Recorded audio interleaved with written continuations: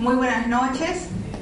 Eh, el día de hoy vamos a tratar brevemente en este espacio de dos horas para tratar de abarcar los principales aspectos de uno de los más importantes impuestos que tenemos en el sistema tributario nacional, en este caso el IGB, y el cual durante mucho tiempo ha sido el impuesto que mayor recaudación ha permitido obtener al fisco peruano.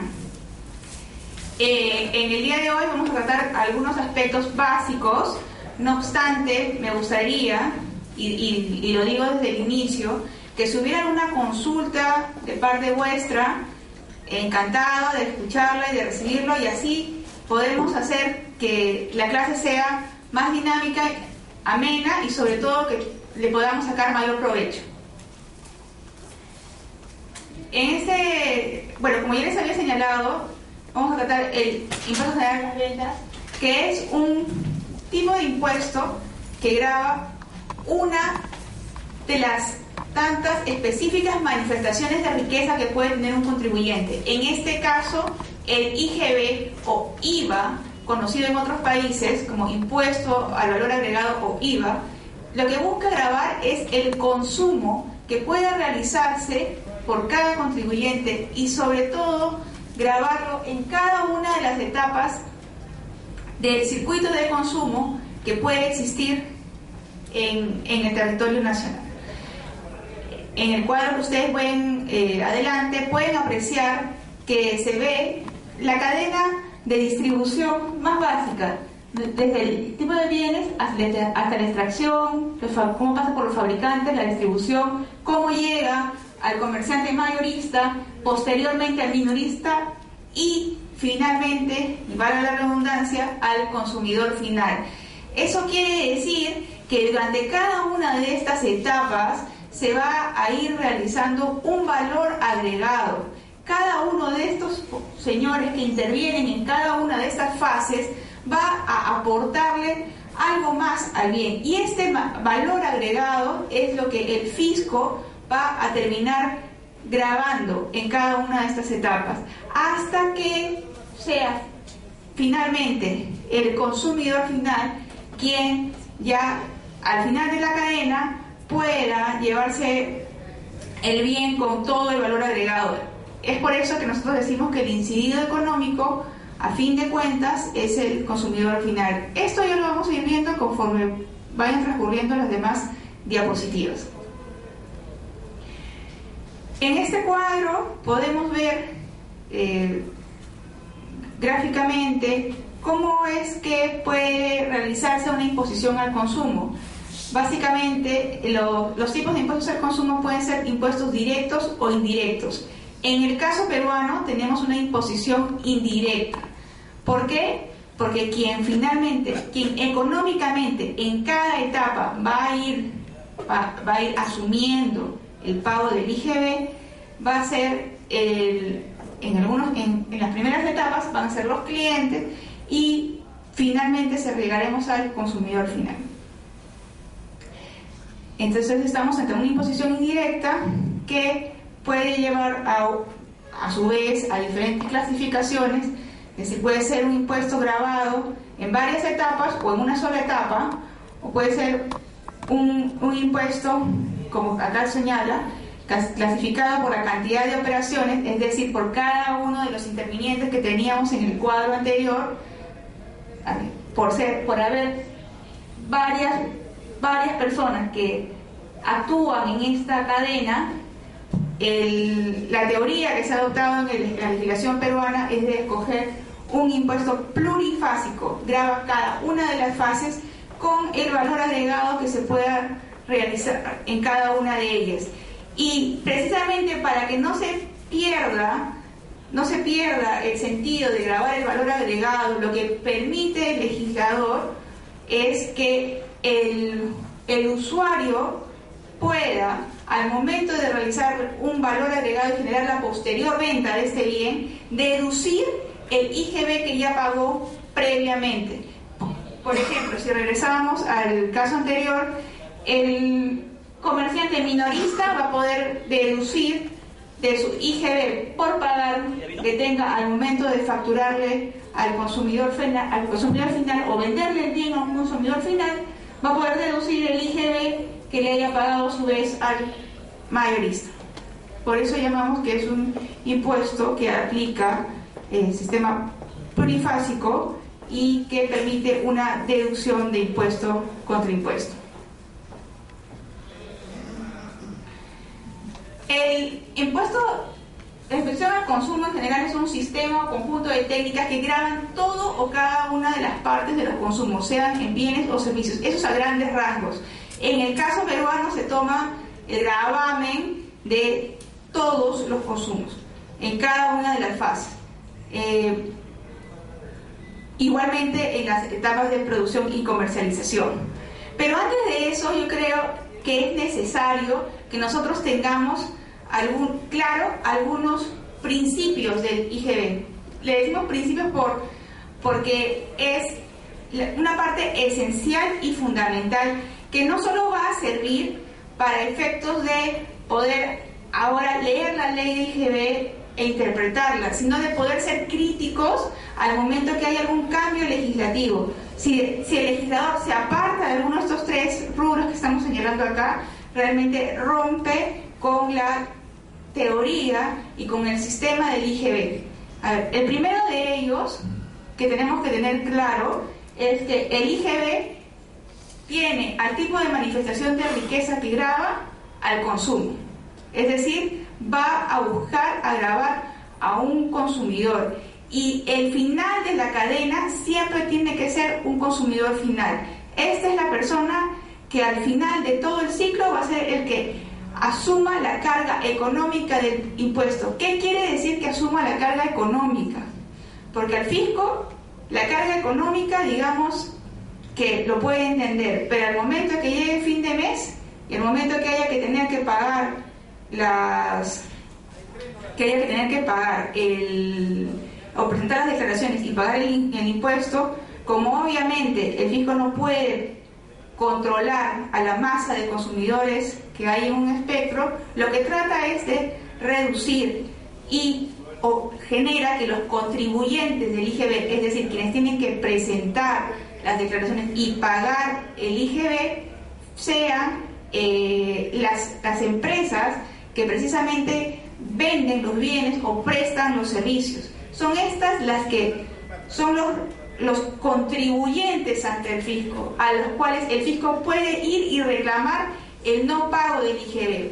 Pero quien va a desembolsar, quien va a sacar de su bolsillo, quien de acuerdo a toda esta técnica es el que debe pagar el IGB, finalmente es el cliente, hasta que sea pues un consumidor final. ¿Quién es el consumidor final? Una persona natural.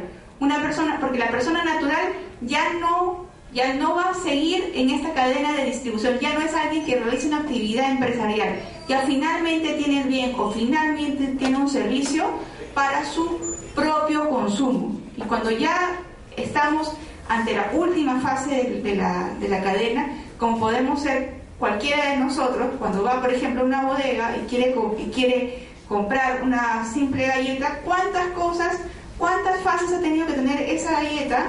Para poder ser realizada. Tiene que comprar los insumos, tiene que pasar por un proceso de producción, por un proceso de comercialización. En cada uno de esos fases se paga un IGB. Pero cuando llega hasta la persona que lo va a disfrutar, que se lo va a comer, que finalmente va a ocasionar que el bien cumpla su función en, este ciclo ya de, producción, a esa persona que lo consume finalmente, eh, es a quien nosotros le llamamos el incidido económico del impuesto, quien va finalmente a asumir la carga económica porque a él se le va a trasladar todo el IGB que todos los demás han este, eh, en un inicio pagado. El segundo principio que deben tener claro es que el IGB se graba en el país de destino. Esto es básico y fundamental. En todos los países donde se aplica IGB, esto, este de los tres digamos que es el, el, principio que permite una armonización del, IGB. Y ahorita se los voy a explicar. El, el IGB, como les dije, tiene que tiene su fundamento de grabarse en el país de destino, porque es en este sitio en el cual se puede manifestar expresamente la capacidad de consumo.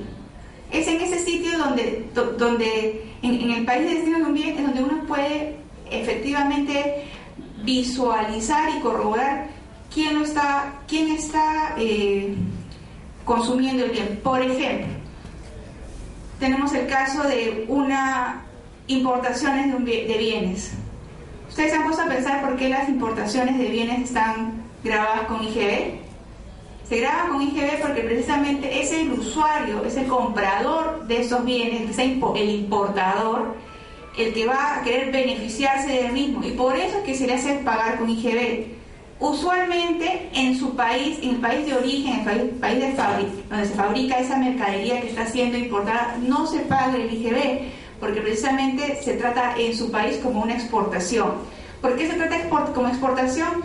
Porque el consumo de bien porque la finalidad de ese bien, donde, va a poder servir ese bien, donde va a ser usado, no va a ser en el lugar donde se está vendiendo, va a ser en el lugar donde se va a recibir el bien. Es por eso que tenemos este, este principio que hace que el IGB se grabe en el país de destino.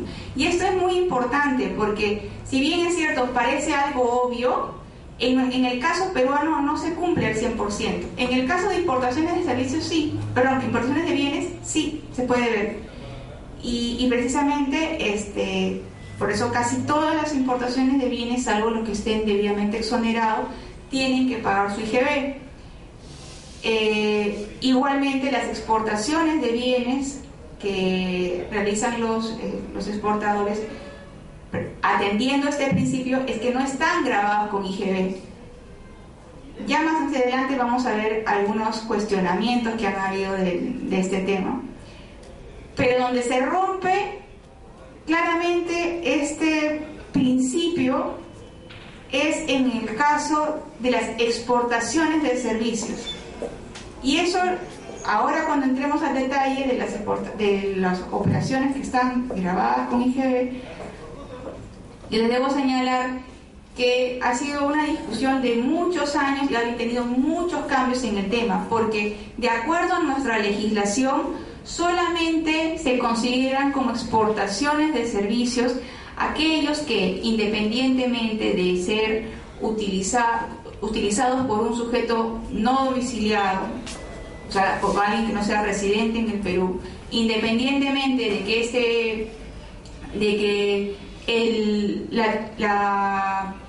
el pago por el servicio sea realizado por un sujeto no domiciliado o que el uso o el aprovechamiento del, del, servicio que nosotros como peruanos podamos darle a una empresa del exterior sea efectivamente aprovechado en el extranjero, la ley de, de IGB señala que se considera única y exclusivamente como exportaciones de servicios a los tipos de servicios que estén descritos en el apéndice 5 de la ley de IGB.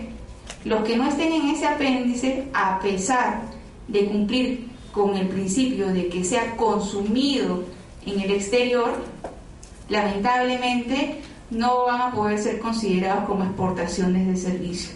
Y traigo ese tema aquí a colación porque si nosotros nos remontamos en la historia hasta más o menos el año 2007 o 2008, la lista de servicios que, comprendía el apéndice 5 de la ley de IGB este, era bastante reducida.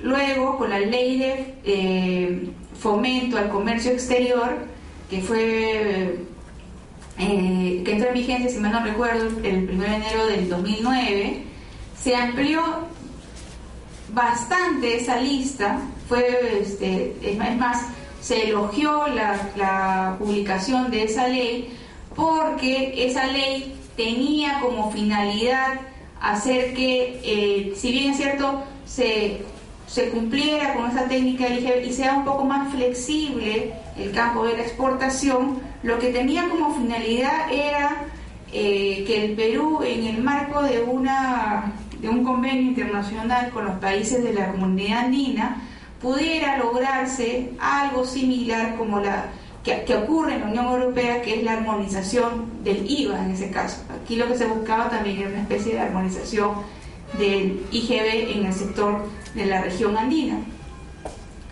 Eh, a fin de que todos los países tengan claro de que en el caso de prestaciones de servicio, en el caso de exportaciones de bienes, solo se pague una sola vez IGB y esa única vez sea en el país de, destino.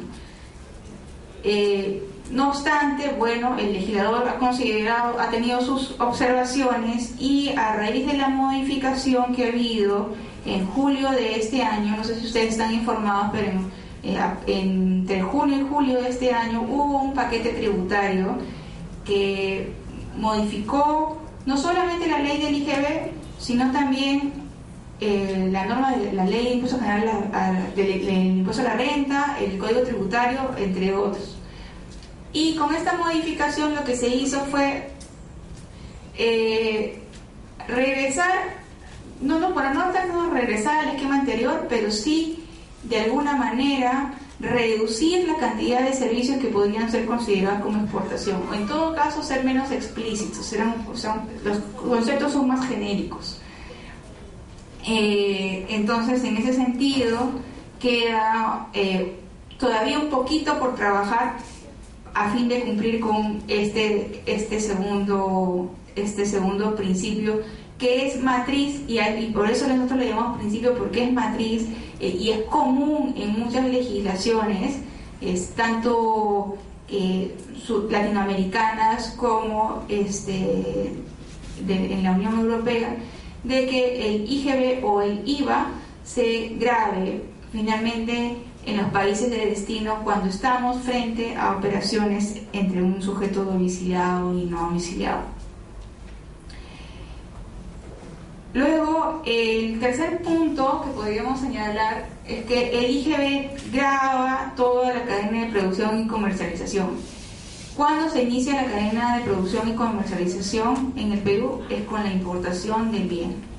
Cuando se importa el bien, ahí se puede decir que el bien ingresó al país y de ahí se le comienza a hacer seguimiento a este bien.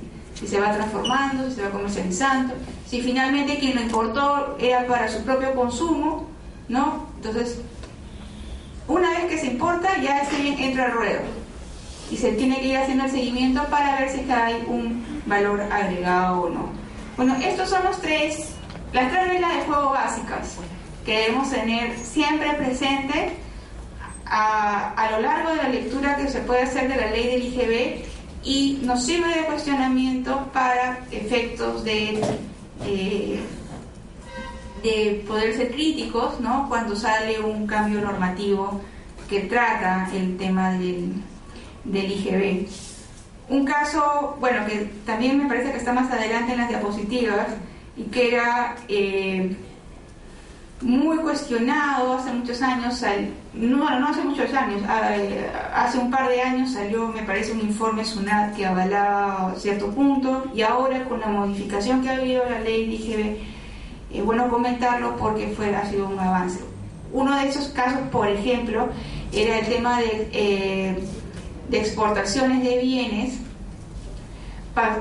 eh, usándose un Incoterm ex-Word ¿Y qué significaba este Incoterm? Este Incoterm lo que, lo que trata es que cuando una, empresa, o sea, cuando una empresa quiere vender un bien a una empresa del exterior, le dice, bueno, yo te voy a vender estos bienes, yo los voy a exportar, pero el que compra dice, pero no me los mandes a mi, no me los mandes a mi domicilio, eh, por ejemplo en Miami, no me los mandes ahí, déjamelos en un almacén en, en Callao, porque yo me voy a encargar posteriormente de recogerlos de ese almacén y llevármelos a Miami.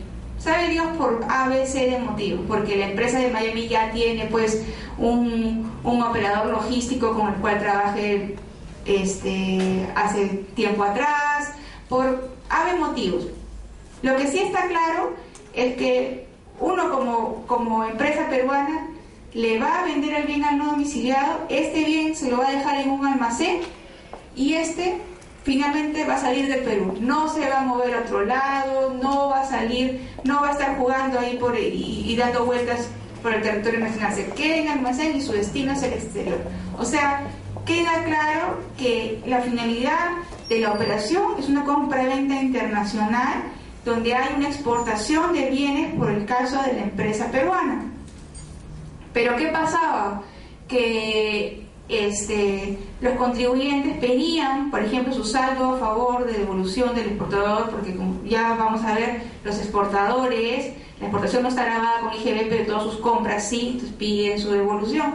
Y lo que, lo que se señalaba, lo que señalaba la administración es que en la medida de que no sea, de que la, de que la venta ocasionó que la entrega del bien sea todavía en parte del territorio nacional, no estábamos frente a una, a una exportación de bienes y por tanto estaba grabada. Entonces no se tomaba en cuenta dónde era el consumo, dónde se iba a realizar el consumo de esa operación, quién estaba consumiendo, se iba a consumir en territorio nacional o se iba a consumir en el extranjero. Entonces, cuando se, entonces frente a esa disyuntiva y que ocasionó varios este, expedientes, incluso en el Tribunal Fiscal, a raíz de la modificación que ha habido en junio de este año, se ha considerado ahora como una operación de exportación a este tipo de transacciones export, que como les repito, son aquellas transacciones en las cuales una empresa peruana está vendiendo un bien a un sujeto no domiciliado y está acordando con él en dejarle el bien en un almacén para que finalmente de este almacén salga por aduanas y se vaya al, al extranjero, a donde esté esta, esta empresa del, del exterior. Entonces, es, a partir de la modificación, esto ya viene a ser una operación considerada como exportación. Entonces, a lo que, a lo que voy es un principio que, si bien es cierto, parece fácil, ¿no? Ha ocasionado muchas y muchas eh, preguntas y cuestionamientos y casos que son muy ricos de materia jurídica, ¿no? Porque hay bastante que, hay que discutir, hay posiciones, ¿no? Y todas de ellas muy respetadas. Y, este, y lo que, lo que demuestra que este, este principio en algunos casos puede tornarse discutible y tenemos que evaluar bien cuál es el destino de los bienes, porque si en el caso que los comento, si esto hubiese sido dejado en un almacén, pero la finalidad de eso no sea salir del país y encontramos ese bien este, eh, siendo usado en territorio peruano o siendo posteriormente transferido a otra empresa, entonces ahí sí queda claro que el consumo no sería pues en el extranjero, sino en el territorio nacional. Entonces hay que hacer un análisis bien sutil, por eso es que este, este principio de los tres es el más complejo ¿no? y el que más cuestionamientos ha traído.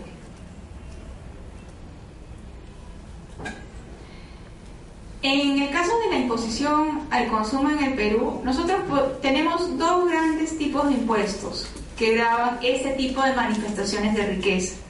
No sé si ustedes este, han podido apreciar, pero hay, otros tipos de manifestaciones de riqueza y solo cuento muy brevemente. En el Perú tenemos tres tipos de manifestaciones de riqueza que el legislador utiliza para, eh, al momento de crear un impuesto. Uno de ellos es el consumo, otro de ellos es la capacidad, eh, el patrimonio, o sea, todos los incrementos patrimoniales que nosotros podamos tener. Por eso existen, por ejemplo, el impuesto al patrimonio vehicular, el impuesto al impuesto predial. Esos impuestos buscan grabar la manifestación de la riqueza de aumentar el patrimonio. Y existe, bueno, el otro, el otro gran impuesto, que el, que la otra tipo de manifestaciones de riqueza, que es el de las, básicamente el de las, de las ganancias, ¿no?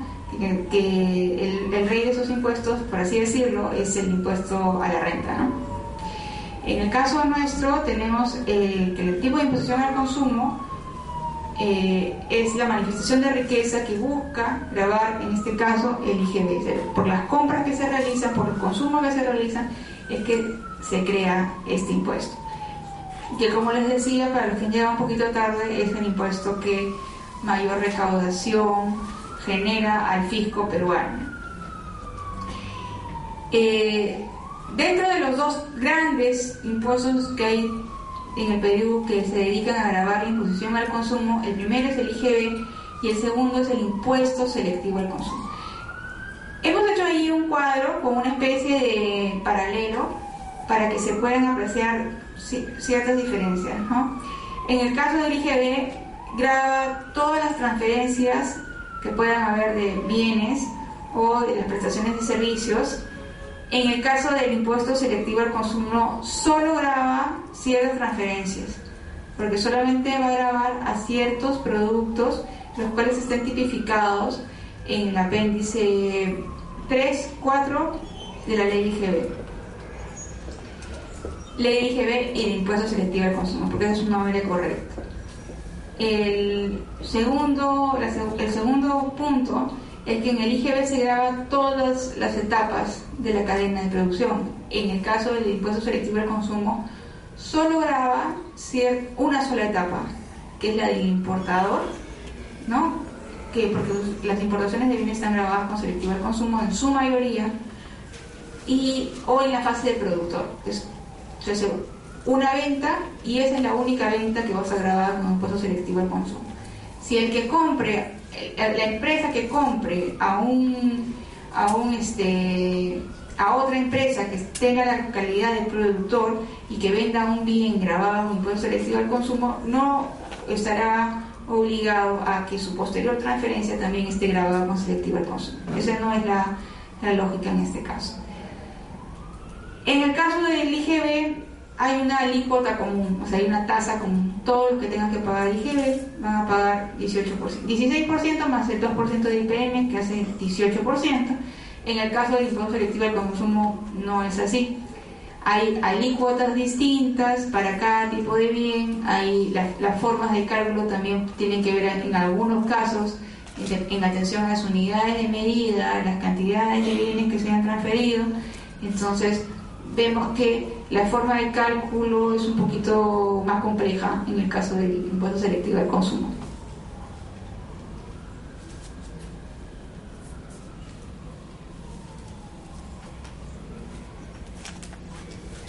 Estos, esto, este cuadro, por ser diapositiva, refleja los seis, eh, eh, los seis tipos de operaciones que graba el IGB, básicamente su campo de aplicación. Es muy importante tener en cuenta esto, porque a diferencia del impuesto a la renta, el IGB lo que trata de buscar, lo que trata de buscar grabar son operaciones. ¿ya? Estas son las, tres, las seis tipos de operaciones. El impuesto a la renta, su finalidad, básicamente, si queremos hacer así un resumen, busca grabar a las personas busca la ganancia de las personas. En el, en el IGB lo que tenemos que ver son operaciones. Antes que ver a la persona, ver la operación. ¿no? Tenemos que ver las operaciones. Solamente estos seis tipos de operaciones son los que están grabados con IGB. Claro, lógicamente cada uno de ellos se puede desmembrar en muchísimas, eh, eh, en muchísimos ejemplos y variantes pero estas son los seis tipos de operaciones descritos en el artículo 1 de la ley IGB. Si no caemos en el supuesto descrito de la norma, no estaremos ante una operación grabada con este impuesto. Uno de ellos es la venta en el país de bienes muebles. Para ello, pues, ya lo vamos a ver, hay que tener en cuenta qué significa venta, ¿no? Tenemos que, tenemos que, al momento de hacer una evaluación, verificar si esa transacción se está dando en el país, ¿no? Y si estamos ante un bien mueble. Si cumplimos con esos tres requisitos, tenemos que pagar IGB. ¿Y por qué digo que hay que verlo? Porque obviamente también las empresas pueden haber comprado bienes en el extranjero y decidir vender estos bienes que tienen en el exterior a otra empresa, peruana o también extranjera. Si, si estuviéramos en ese caso, como su nombre lo indica, no sería una venta en el país, sería una venta en el extranjero. A pesar que quien venda sea una, una empresa del Perú, ¿Dónde se va a celebrar la venta? ¿Dónde va a estar el bien? En el extranjero. En ese caso, no tendríamos que pagar IGB. El segundo tipo de operación que graba este impuesto es el de prestaciones de servicios en el país. Es decir, cuando las empresas, en lugar de comercializar bienes, lo que ofrecen y prestan son servicios. Entonces, en este caso, la prestación es dada por una empresa domiciliada en el Perú y el consumo de este, de este servicio tiene que darse netamente en el Perú. El tercer supuesto es la utilización en el país de servicios prestados por no domiciliados. Esto es el ejemplo contrario. En este caso, quien brinda el servicio no es una empresa domiciliada en el Perú, quien brinda el servicio es una empresa domiciliada en el exterior. Y es esta la que va a dar el servicio a una empresa en el Perú. Y a la empresa en el Perú, por el hecho de utilizar ese servicio, se le va a cobrar un IGB. Y esta empresa que la que pague el IGB, luego podrá, y ahora lo vamos a ver, podrá utilizar ese IGB pagado, lo puede usar como un crédito fiscal. Eh, Luego tenemos otro tipo de, los otros tipos de operaciones son los contratos de construcción. Luego la primera venta de, primera venta de bienes inmuebles por, efectuados por el constructor. En este caso cabe precisar que, si se fijan, es el único caso de venta de bienes inmuebles que van a estar grabados con IGB. y la razón de, para que la primera venta de bienes inmuebles esté grabada con IGB es porque, como es un impuesto que busca grabar el valor agregado. Nosotros cuando, si somos constructores y queremos dedicarnos a la venta de bienes inmuebles y vamos a eh, querer empezar con este negocio, nosotros lo partimos de un terreno. Ese terreno no tiene nada más que, más que pura tierra. Entonces, toda la edificación, para realizar toda la edificación hay que gastar, hay que comprar una serie de materiales, hay que pagar una serie de mano de obra a fin de que este bien, este inmueble, no, eh, al momento de haber, eh, como ha sufrido un valor agregado, lo que se busca es de, eh, hacer que se devuelva el IGB que se pagó por toda esa adquisición de materiales. Y así este, el fisco puede grabar el valor agregado que ha habido para la realización de este, de este bien. Y quien lo compre, ¿no? va a ser el, finalmente su consumidor final. Esa es la razón por el hecho de que los inmuebles solamente estén grabados cuando estemos frente a la primera venta, porque lo que, lo que se busca es grabar el valor agregado que se pudo haber dado ese inmueble, nada más. Y la última tipo de operación son las importaciones de bienes, que aquí en el caso del IGB es, este, la mayoría de los casos no hay no hay forma de, de, cuestionarlo porque el, el IGB nos lo cobra la propia aduana. En el caso del primer tipo de operación, como les señalaba, existe un concepto de venta que está descrito en la ley de IGB. Entonces, nosotros podemos llamarle venta a mil y un cosas, pero lo que para efectos prácticos se necesita eh, y a fin de evaluar si una operación está o no está grabada, es la definición de venta que nos dé el legislador. Entonces, para este caso se define como venta a cualquier acto por el cual se transfiera bienes a título oneroso, independientemente del nombre que se le pueda dar al contrato o, a la negociación este, y a las condiciones que se puedan pactar. Nosotros si nosotros le llamamos este, permuta, en la medida que haya una transferencia de bien a título oneroso, estamos ante una eh, operación grabada. Nosotros le podemos llamar venta, le podemos llamar transferencia, le podemos llamar lo que queramos, pero si estamos haciendo, despojándonos de la propiedad de un bien a cambio de un pago, porque título oneroso quiere decir que hay un pago de por medio, porque su, opuesto es título gratuito, eh, si estamos a un título oneroso, podemos señalar que estamos ante una hacia una operación de venta.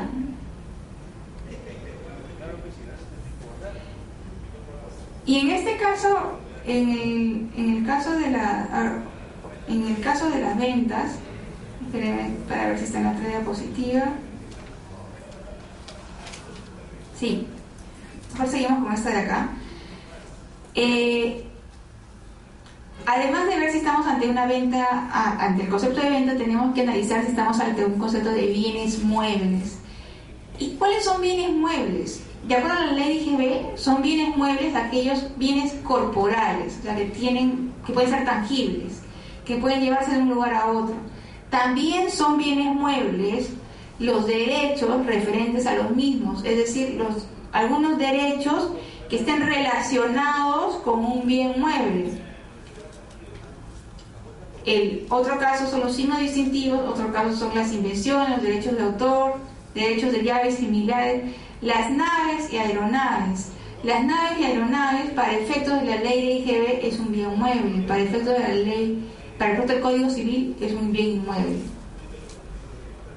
También están, así como cualquier otro documento y título cuya transferencia implique de cualquiera de los mencionados bienes. Tenemos que estar frente, más que nada, frente a un bien corpóreo o estar ante un derecho de autor, derecho de llave y similar.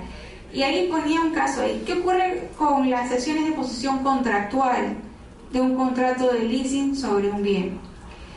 Ustedes saben, algunas empresas, ¿no? por ejemplo, decían adquirir, eh, en este caso, por ejemplo, que quiera adquirir una nave pesquera.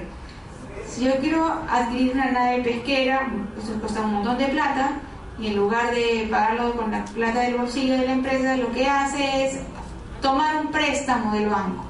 Un préstamo llamado leasing. Y en este caso el leasing, este, bueno, ocasiona que la empresa tenga que estar pagando una especie de arrendamiento por el bien a fin de que al cabo de una, cantidad X de cuotas, la empresa que haya tomado el leasing pueda pagar un valor residual por el bien y hacerse de la propiedad del mismo. Ocurre que en el camino algunas empresas pueden decidir simplemente transferir esa sesión de posición contractual, es decir, viene otra empresa y le dice, mira, yo te quiero vender este, este, este contrato, te quiero cederte mi posición en este contrato, yo ya pagué 15 cuotas de 25 que, tienes, que tengo que pagar para llevarme esta nave, págame 10 y quédate y, entra tú al contrato y arréglate con el banco para el pago de la diferencia. Ese tipo de, ese tipo de, este, de, negociaciones existen. Los bancos acceden sin ningún problema. Y, el, y, en este caso lo que, se, lo que se cuestiona es si esta cesión de posición contractual, porque cuando uno le cobra por, por, por entrar a este contrato, uno no, le está, uno no le está vendiendo un bien, uno le está cediendo un derecho, un derecho para seguir pagando las cuotas y al final hacerse de ese bien. Entonces, frente a eso, ¿qué ha dicho el Tribunal Fiscal? Lo que ha dicho el Tribunal Fiscal, que es el máximo ente de, fase administrativa, o sea, que, no, sea fase judicial, que puede pronunciarse sobre temas tributarios, el Tribunal Fiscal ha señalado que cuando estemos ante un caso de cesión de posición contractual, lo que tenemos que evaluar es el tipo de bien que se va a transferir.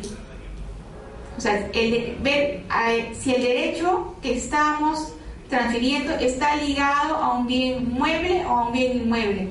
En el caso que les comento, en el caso de las naves, al ser un bien mueble, la, transfer, cesión de posición contractual, el pago que me hagan por, estas, por, por ceder mi posición y que esta empresa pueda entrar al contrato, estaría grabada con IGB, porque estamos transfiriendo directamente el derecho sobre un bien mueble, en este caso la nave y aeronave. No es así, por ejemplo, si en este caso estuviéramos ante un bien inmueble, ante una casa, un edificio, al, ceder el, el leasing respecto de un bien inmueble y al ser un bien inmueble eh, un supuesto que no está tipificado, que no está tipificado para venta de bienes en el país, en ese caso simplemente esa sesión de posición contractual eh, no estaría grabada con IGB. De esto han habido varios pronunciamientos, uno de ellos, eh, si mal no recuerdo, uno bien conocido, respecto a unas concesiones mineras. ¿no? Las concesiones mineras, y eso es también un, uno de los casos más polémicos, ¿no? las concesiones mineras, este, si uno va al mapa geofísico del Perú, eh, el Ministerio de Energía y Minas divide el Perú en, en este, una cantidad X de cuadrículas y las personas que quieran o las empresas que quieran invertir en el tema de minería le asignan una de estas cuadrículas denominadas concesiones. Y, le, y quiere decir que es un espacio geográfico donde el cual pueden eh, eh, realizar sus investigaciones, realizar eh, todas las inversiones que crean necesarias a fin de verificar si hay o no mineral. Y en, este, en ese sentido, eh, hubo, una, hubo un caso que me llevó al tribunal fiscal en el cual se dijo, se cuestionaba si la transferencia de este derecho de concesión minero estaría o no grabado con el IGB. Y en ese caso el tribunal ratificó el mismo tema, diciendo que había que analizar cuál era el bien que se iba a transferir. Y en este caso, el, el derecho de concesión minera estaba ligado a un espacio geográfico al ser un espacio geográfico, no, a, una porción de tierra, en este caso eh, se dijo que esta transferencia no estaba grabada con un IGB.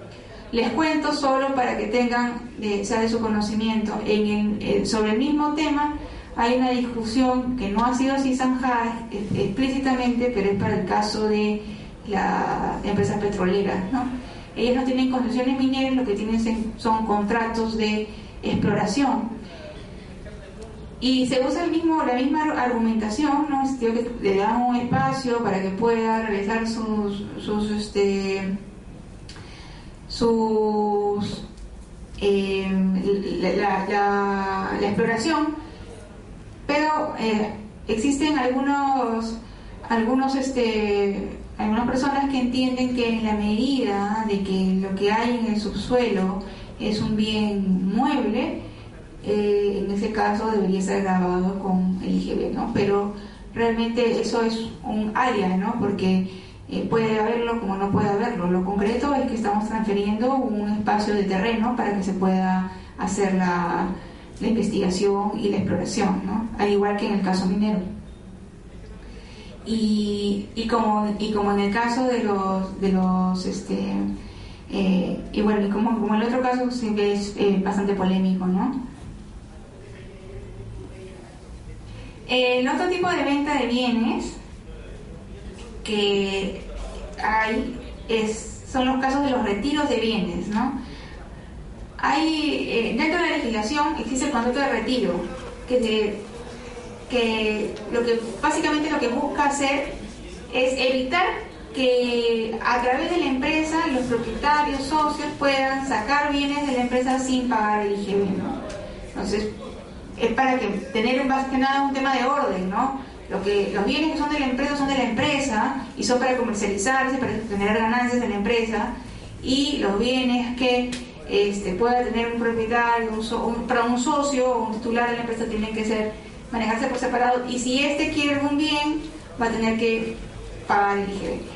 Igualmente, si por ejemplo existieran algunos faltantes, esa es la lógica de por qué cuando hay algún faltante eh, o, desaparece un bien, y este, no digamos porque haya sido sustraído, porque ahí hay sus normas este, específicas, pero sí eh, cuando no cuadran los cardes, cuando no cuadran los, este, los inventarios, se presume que ahí existe un retiro de bienes, ¿no? Es porque la propia empresa haya podido este, eh, eh, sacar bienes para su propio eh, consumo o para, para terceros, ¿no? En este caso, lo que quería comentar es que la norma señala que el retiro de bienes que se considera venta es aquellos que efectúe el propietario, socio titular de la empresa, incluyendo los que se efectúen como descuentos o bonificaciones con algunas excepciones que puede dar el reglamento. Claro, hay casos en que, por ejemplo, eh, una empresa necesita dar, eh, acceder a dar una entrega de, por ejemplo, material promocional, ¿no? Entonces, compras, por ejemplo, una serie de, eh, de afiches para poder distribuir y hacer un poco de publicidad de la empresa y esos afiches este, se entregan a, los clientes en forma masiva. En esos casos ese material publicitario no se considera como retiro grabado con IGB, pero porque hay una disposición expresa en el reglamento que lo, que lo señala. Igualmente para el caso de, eh, de bienes que puedan ser entregados como material de promoción, ¿no? para materiales promocionales. La ley señala y, es consciente de que las empresas necesitan, para efectos de poder expandir su negocio, de poder captar más clientela, incurrir en algunas adquisiciones de ciertos tipos de bienes y entregárselos a, los, a sus clientes como material promocional. ¿no? Este, no obstante, la, ley establece ciertos topes. ¿no? En el caso de la en el caso de, la, de los retiros de bienes, ¿no? pueden ser hasta el tope de, de 40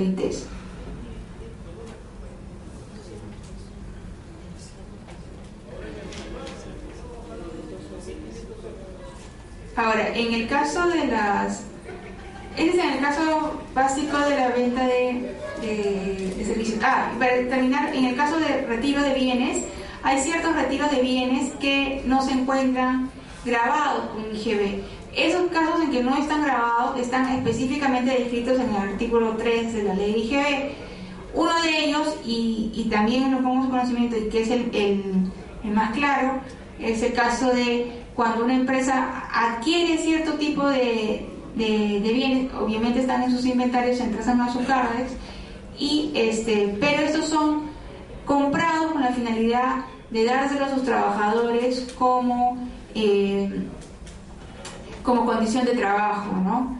Por ejemplo, uno de ellos puede ser, y siguiendo con el ejemplo de una empresa minera, ¿no? Eh, una empresa minera para tener a sus trabajadores tiene necesariamente, por un tema de protección, por un tema de seguridad, darle cierta indumentaria especial.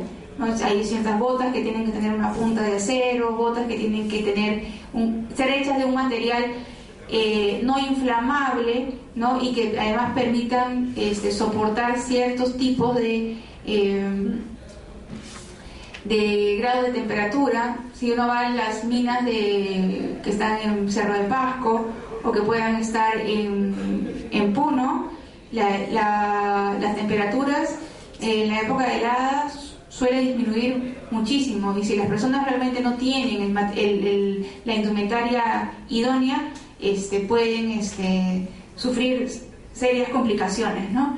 Eh, en ese caso, el, este tipo de adquisiciones de bienes que hace la empresa y que obviamente van a salir de su CARDES, pero como son entregados a sus trabajadores como condición de trabajo, ya que si no se les entrega esto no pueden trabajar, en ese caso, estos tipos de retiros de bienes no están grabados con IGB. Por el contrario, hay casos en que, por ejemplo, para ya ha habido algunas algunas este, resoluciones del Tribunal Fiscal contradictorias. Ocurre que en el caso de la entrega de uniformes a los trabajadores se señala que si el que tiene que evaluarse si es necesario que, si eh, es necesario que el uniforme eh, sea estrictamente indispensable para que el trabajador pueda cumplir sus funciones. En alguna RTF se ha dicho que, por ejemplo, si es una empresa que se dedica a vender ropa, ¿no? o que tiene una boutique, el hecho de entregarle un uniforme bonito y tener a sus, a sus vendedoras este, eh, bien presentadas, eh, permite, que permite demostrar una imagen de la empresa y permite que este, la entrega de estos uniformes, cuyo costo obviamente íntegramente lo asume la empresa, no sea considerado un retiro grabado con IGB, es decir, no sea considerado como un concepto que deban adicionar al pago mensual del IGB.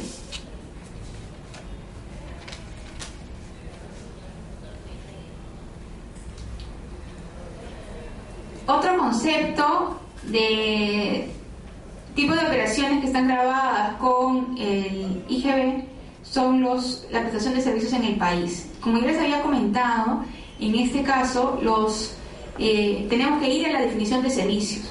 Y, y si ustedes revisan, la definición de servicios que está ahí expuesta es amplísima, amplísima.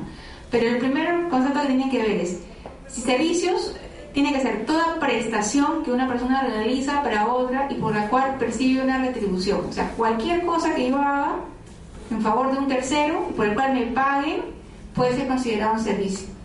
Pero ojo, lo que agrega a esa definición es que eh, para quien lo perciba, esto debe ser una renta de tercera categoría, es decir, debe ser una empresa o una persona natural que realice actividad empresarial. Si no estamos en este caso, simplemente no va a ser, no va a ser un servicio grabado con IGB. ¿Y por qué? Porque precisamente son las empresas y las personas que realizan actividad empresarial las que se van a, las que están en este círculo de comercialización y de, y de hacer que los bienes y los servicios comiencen a, tener un valor agregado. Entonces, eh, es por ello que solamente eh, se graba con IGB a todas las personas que están en el medio de la cadena antes de llegar a un consumidor final. En este caso, eh, como les decía, tiene que ser una renta que tiene tercera categoría y está incluido también dentro de esta definición de servicio al arrendamiento de bienes muebles e inmuebles y el arrendamiento financiero. Aquí entran también los inmuebles. ¿no? Si simplemente nos dedicamos a alquilar inmuebles, si una empresa se dedica a alquilar inmuebles, esto, este alquiler de inmuebles sí estará grabado con IGB. Si una empresa que no es constructora vende, vende inmuebles, no, no tendrá que pagar inmueble, este, IGB porque el, solamente está grabada la primera venta de inmuebles efectuada por el constructor.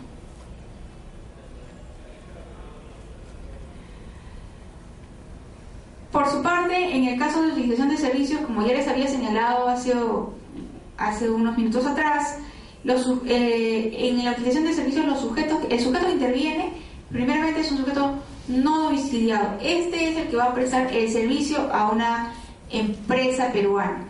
Y en, en este caso el legislador hace que el contribuyente sea el usuario del servicio. ¿Por qué? Primero porque no tiene cómo cobrarle al sujeto no domiciliado. Y segundo porque cuando ustedes vean el concepto de utilización de servicios, hagan el símil con importación de bienes. La utilización de servicios en buena cuenta es como la importación de un servicio.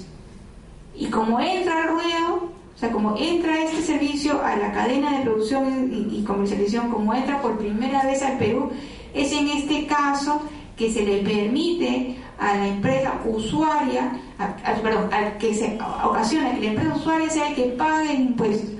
Y luego que ese impuesto pagado lo pueda usar como un crédito fiscal a partir del mes en que haga el pago del IGB. Lo mismo que ocurre en la importación, es exactamente la misma lógica.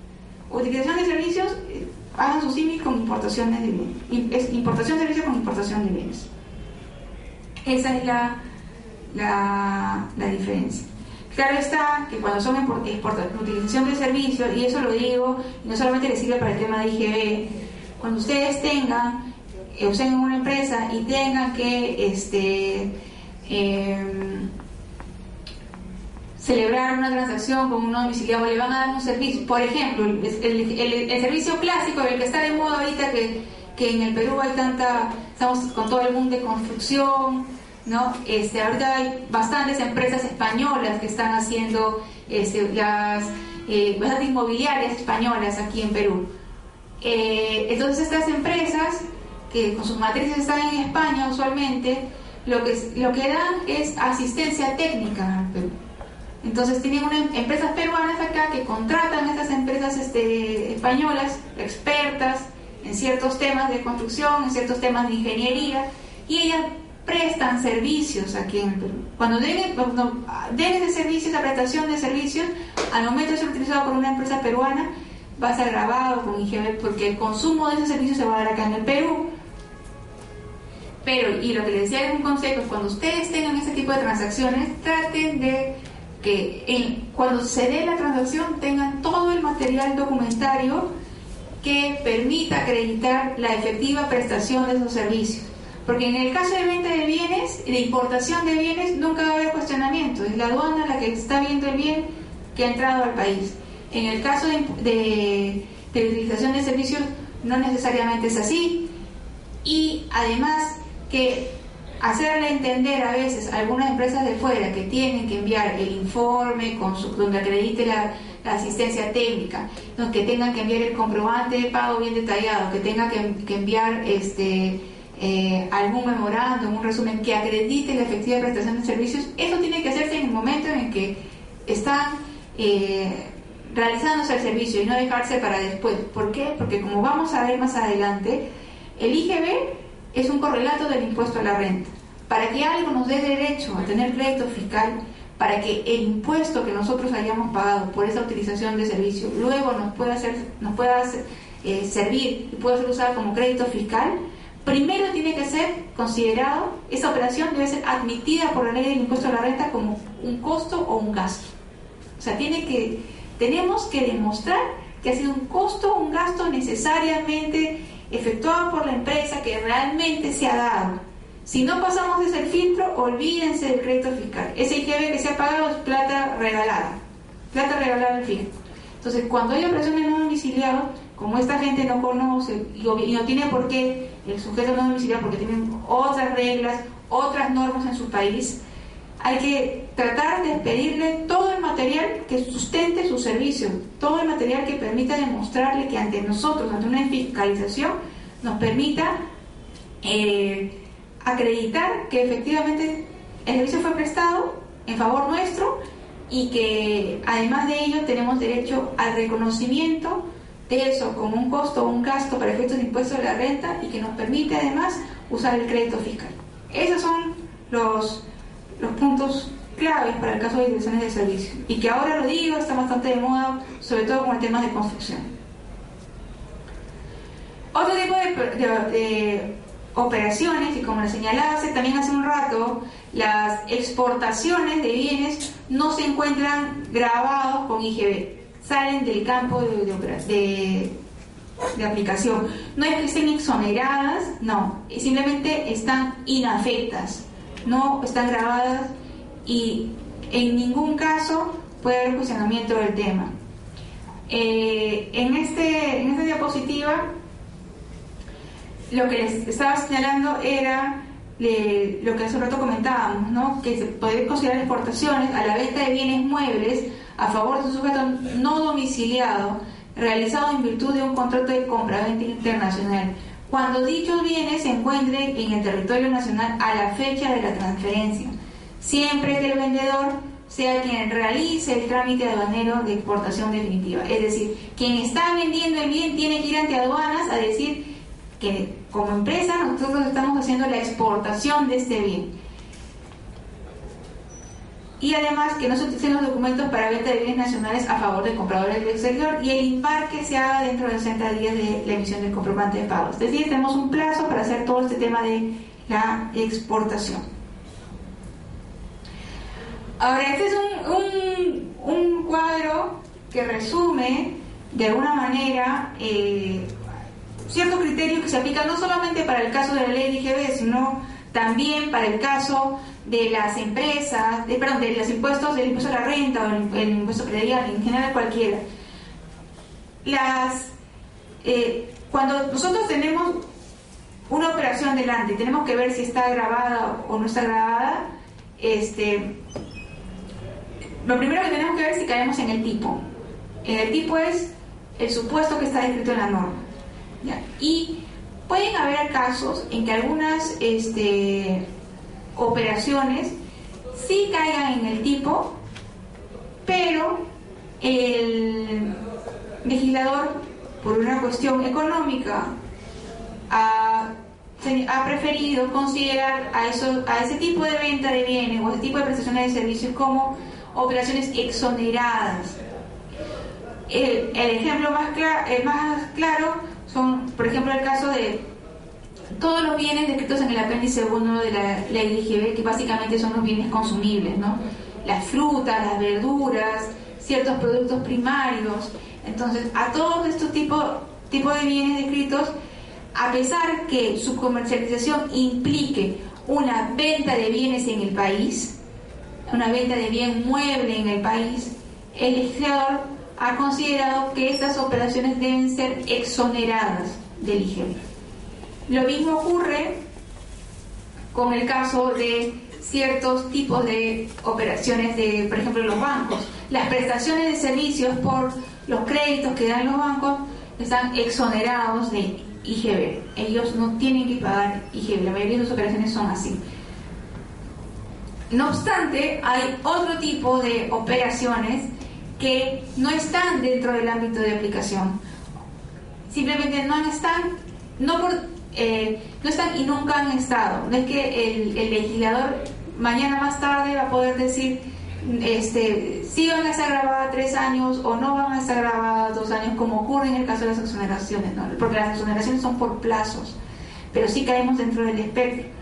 En el caso de los inafectos, nunca caemos dentro de, del ámbito de aplicación del impuesto. El caso más claro, la venta de bienes muebles efectuadas en el extranjero. Una empresa simplemente decidió comprar un carro, este, poniendo el mismo ejemplo, es en Estados Unidos y luego decidió vender este bien en, en el mismo Estados Unidos. O sea, nunca entró el bien al Perú, lo compró en el extranjero, lo transfirió en el extranjero.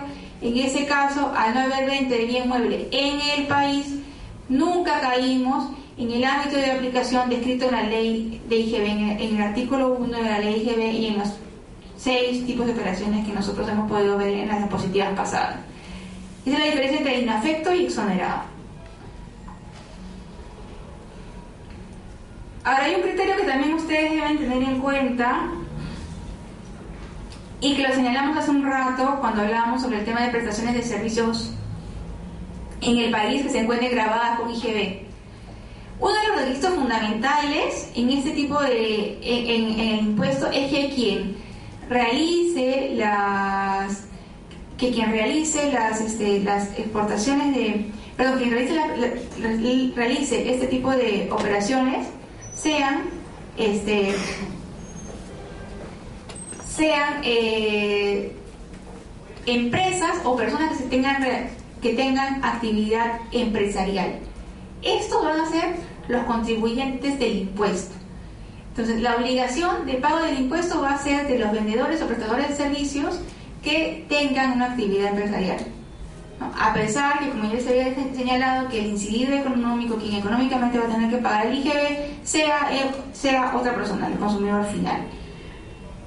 Sin embargo, el, artículo, el artículo 9 de la ley IGB describe, en la capítulo que está señalando ahí en la diapositiva, que las personas naturales personas jurídicas que no realicen, personas naturales, personas, eh, o entidades de derecho público, sucesiones científicas que no realicen actividad empresarial serán consideradas sujetos del impuesto cuando importen bienes afectos o o cuando realicen de manera habitual las demás operaciones comprendidas dentro del ámbito de aplicación del impuesto. ¿Qué quiere decir esto? Que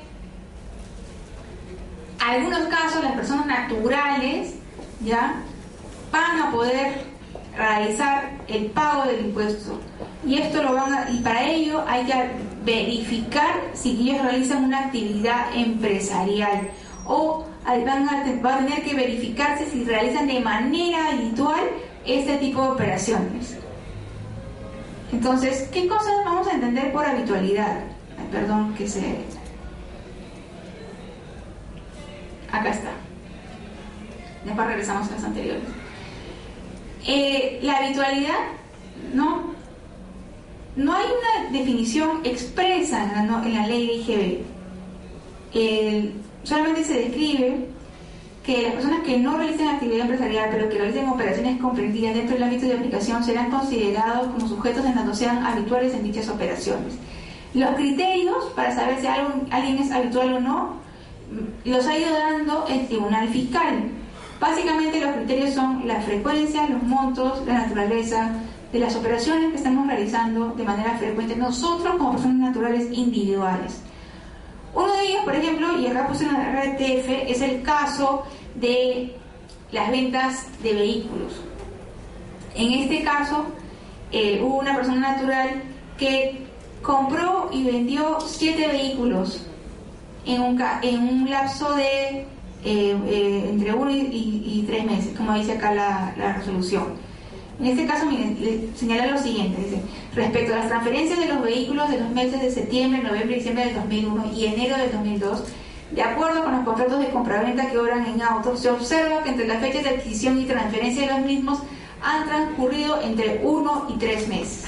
O sea, entre que compraron y vendieron ha pasado uno y tres meses. Que atendiendo a dichas circunstancias y a la cantidad de vehículos que suman, en este caso son siete, resulta evidente que estos no fueron adquiridos para un uso o consumo, sino para su posterior comercialización, por lo que tales transferencias se encuentran grabadas con IGB, debiéndose por ello mantener el reparto. Es decir, la SUNAT perdón, y el Tribunal Fiscal verificaron que una persona había comprado siete vehículos, que los entre que los compró y los vendió, pasaron entre uno y tres meses, que son ahí los meses que están descritos en, en pantalla. Entonces, nadie compra siete vehículos para venderlos pues dentro de dos o tres meses y, este, y pretender señalar que para, para su uso personal. Entonces ya este, la, la, la, naturaleza, la frecuencia, ¿no? el periodo de tiempo en el que estamos, en el que estamos este, eh, verificando estas operaciones, hacen, que, hacen prever que simplemente esa adquisición no fue realizada con una, con una intención de que sea un consumo personal, sino que esta persona natural lo que buscaba al momento de comprar y vender este tipo de vehículos era precisamente realizar una actividad empresarial.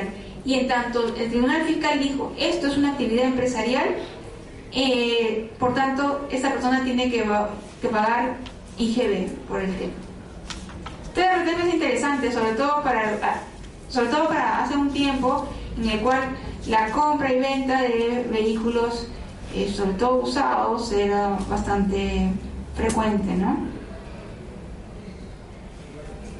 Ahora, como les había señalado hacía unos instantes, este, el, los contribuyentes somos, son en esos casos, como decía, las, personas, eh, las empresas, o las personas que se dediquen a que tengan eh, que realicen actividad empresarial o que puedan ser calificados como habituales.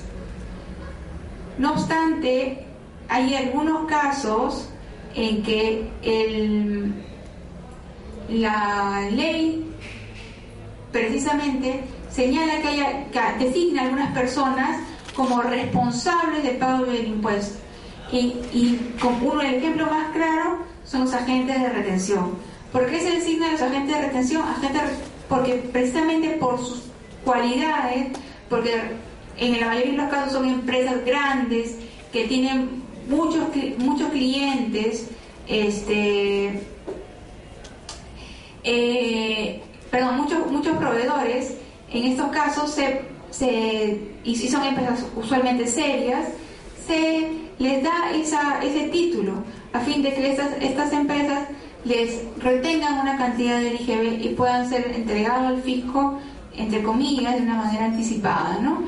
Eh, y si en caso estas personas no cumplieran con el, con, con el pago, eh, se, califica como este, responsable a la, a, la, a la agente de retención. Por eso los agentes están eh, usualmente esperan que sus eh, que los proveedores, los contribuyentes sean los que paguen los, sus impuestos, ¿no? Es una forma de coerción.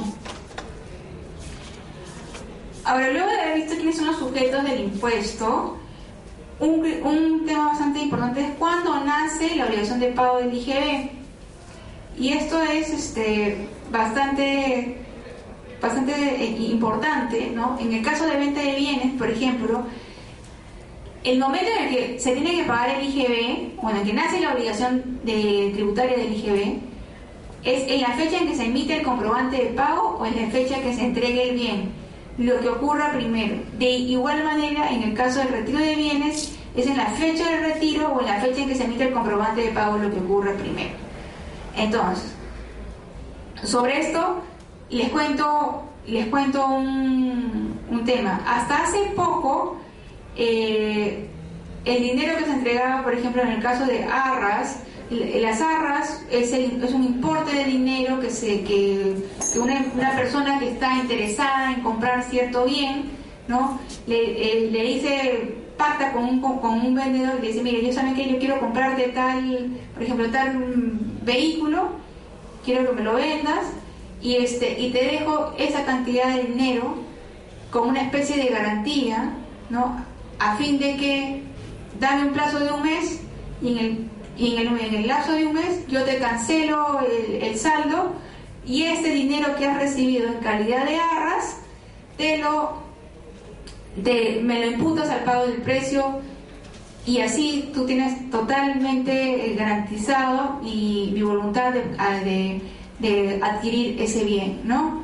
Si yo no cumplo en este en este caso, este, tú te, si no cumplo ese plazo, porque no te puedo dar el saldo, tú te quedas con las arras y si tú incumples me vas a devolver las arras. Eh, en un caso puede ser el, mismo importe de las arras y en otro caso pueden ser las arras dobladas, o sea, el doble de las arras que yo te di. Esto es a fin de que ninguna de las dos partes se, desista del tema. ¿no? Hasta antes de la modificación que habido en en julio, con su posterior reglamento de agosto de este año, el importe máximo de arras que se podía dejar sin que nazca operación de, de, pago de IGB en la venta de bienes era un 15%. Es decir, yo podía ir y comprar un carro dejando el 15% en calidad de arras y el que me vendía no tenía que emitir comprobante de pago, no salía, pues, este, no tenía que pagar IGB, ¿no? y tenían que esperar a que yo le dé el, saldo para efectos de que nazca la obligación de pago de IGB. Pero, en, eh, pero con la modificación que ha habido, esa tasa de 15 se redució a 3%. Entonces, solamente se puede dar hasta un 3% en calidad de ahorro, depósito o garantía, como que le quieran, este, como, quieran denominarlo.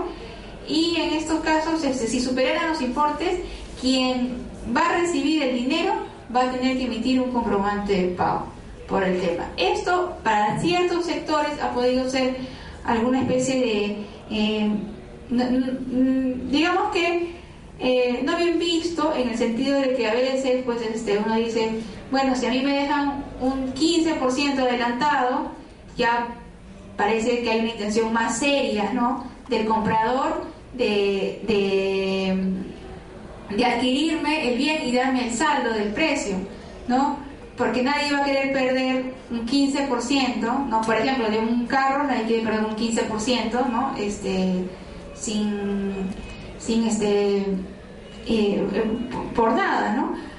Pero si me dije, si me rebajan el caso de las a 3%, ¿no? Ya este, puede ser pues que desincentive un poco, ¿no? Porque ya el, que vende simplemente va a decir, bueno, solamente me vas a dejar 3%, este, ¿quién me garantiza de que luego no, no, no quieras cumplir con el saldo y te desistas, te desanimes, ¿no? Entonces, este, comercialmente, digamos que a veces hay impactado un poquito en algunos, en algunos sectores, ¿no?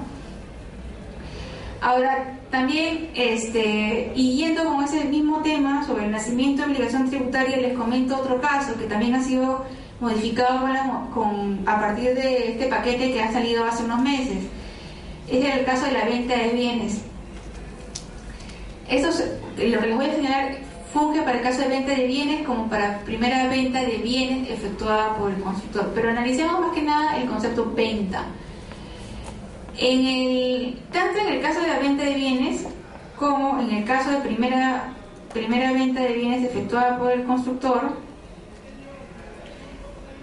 este, acá en la, se, nace la obligación tributaria en la fecha en que se reciba el, pago parcial o total de bien, ¿no? Y en el caso de venta, venta tiene que haber, la, es cuando yo recibo el pago parcial o total o cuando eh, emite el comprobante o entregue el bien.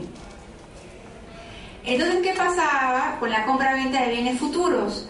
Por ejemplo, los inmuebles. Este, cuando uno iba, quería comprar un inmueble este, futuro, obviamente la compras en planos, ¿no? Porque no existe, bien, ese es el concepto de bien futuro. Yo pago por algo que posteriormente existirá. Eh, entonces, frente a ello había una discrepancia entre lo que sostenía la SUNAT y lo que sostenía el Tribunal Fiscal. Bueno, y sostiene, porque todavía no había una resolución en contrario. Pero hasta esa modificación lo que señala lo siguiente es, la SUNAT decía, si tú recibes el pago parcial o total por esa venta de bien futuro, el solo hecho de haberlo recibido ya a ti como empresa constructora te obliga a emitir el comprobante de pago y te obliga a pagarme el IGB. Y este, en el caso de la y bueno, en el caso del Tribunal Fiscal, el Tribunal Fiscal señalaba todo lo contrario. El Tribunal Fiscal decía, bueno, un momentito, puede recibir el pago, pero nosotros no estamos ante el caso de una venta de bienes, porque para que hablemos de venta, primero debe existir un bien. Porque para que haya venta, y eso, y me escapa un poquito de la norma de la, de la ley IGB, en el Código Civil se dice que para que haya venta deben haber dos condiciones. Uno se llama título y otro se llama, se llama modo. Título es que quien venda el bien, quien transfiere el bien, sea la persona que efectivamente es el propietario, quien tiene el título legal para poder vender el bien.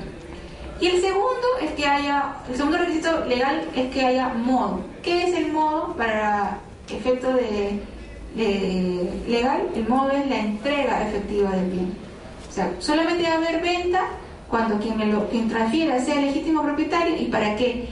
Y, a su vez, que el bien sea entregado, a fin de que no haya ninguna obligación de parte del vendedor por cumplir. Entonces el Tribunal Fiscal lo que decía es, cuando estamos frente a, un contrato de compra-venta de bien futuro, todavía no hay entrega de bien. Y al no haber entrega de bien, no podemos hablar de ninguna venta. Y por tanto, recién surgirá la obligación de tributaria del IGB al momento en que efectivamente el bien exista. ¿no? Esto ocasionaba pues que hubiera unas hubiera dos corrientes de opinión en el mercado. Y esto si lo vemos hasta desde un punto de vista financiero, este, conviene, en todo caso, la, la, posición del Tribunal Fiscal. ¿Por qué? Porque en la primera parte, en, la, en, el, si nosotros vemos, cuando nosotros vamos a realizar la construcción de un bien inmueble, nosotros este, empezamos con un terreno y poco a poco vamos comprando materiales. Todos esos materiales van siendo grabados con IGB, obviamente estamos pagando el IGB por la compra.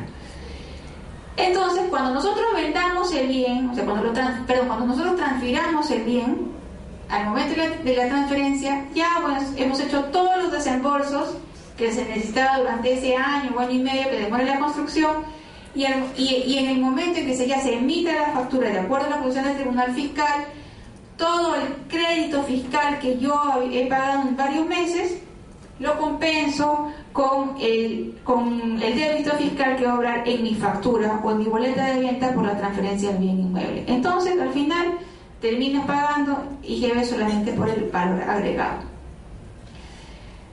Pero la posición contraria ocasiona lo siguiente, sobre todo para las empresas que quieren, están, estén empezando.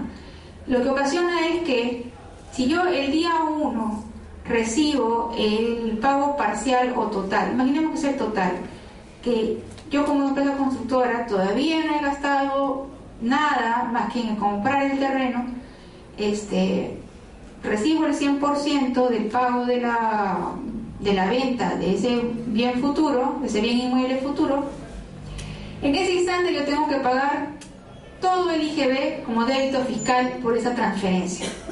En ese instante, en ese mes, voy a tener que ir donde el fisco y pagar mi 18%. Si quiero vender un, inmueble de 100 mil dólares, tengo que pagar 18 mil dólares de mi plata. Y las compras de los bienes, o sea, la arena, bueno, los, este, los fierros, el cemento, todo lo que tenga que estar grabado con IGB, lo voy a realizar en los siguientes, en los siguientes meses. Entonces, ¿qué va a ocasionar? Que los siguientes meses yo haga las compras y tenga el crédito fiscal. Entonces, pero ya después no voy a tener contra qué vender, porque contra qué voy a aplicar ese crédito fiscal. ¿No? Porque ya lo pagué en el primer mes. La, anterior postura nos obligaba que, o nos obliga, ¿no? A que tengamos que facturar pagando todo el IGB. Pero señor, pero si, pero el impuesto al IGB tiene que ser neutral. Es crédito contra débito, tiene que ser neutral. Bueno, como está ahorita las normas, prácticamente obliga a que una empresa que recién empieza tenga pues que desembolsar este, en un inicio el 18% de IGB y ese crédito fiscal que se va a generar en los siguientes meses recién pueda ser usado para su segundo proyecto inmobiliario. entonces así se, se genera un, pequeño, una pequeña distorsión financiera. ¿Cuál de estas dos posturas este, ha ganado, ha ganado entre comillas, por así decirlo? Eh, porque antes, hasta junio, si nosotros teníamos una discusión por el tema, Obviamente, este, y, con, y, aplicando la norma, los funcionarios de SUNAT tenían que cumplir con los informes de SUNAT, que son de cumplimiento obligatorio para todos los funcionarios, pero ya dependía de la empresa si quería entrar a un proceso de reclamo, de apelación ante el Tribunal Fiscal, y en el Tribunal Fiscal ganaba. Pero eso estamos hablando de cuatro años, ¿no? Pero ganaba. Ahora ha habido un cambio de norma y el cambio de norma dice que para la compra-venta de bienes futuros, eso antes no estaba así, eso antes no decía, para compra-venta de bienes futuros el pago total o parcial del precio ocasiona que nazca la obligación tributaria del IGB, siempre y cuando lo que estemos pagando sea mayor al 3% del, importe del bien.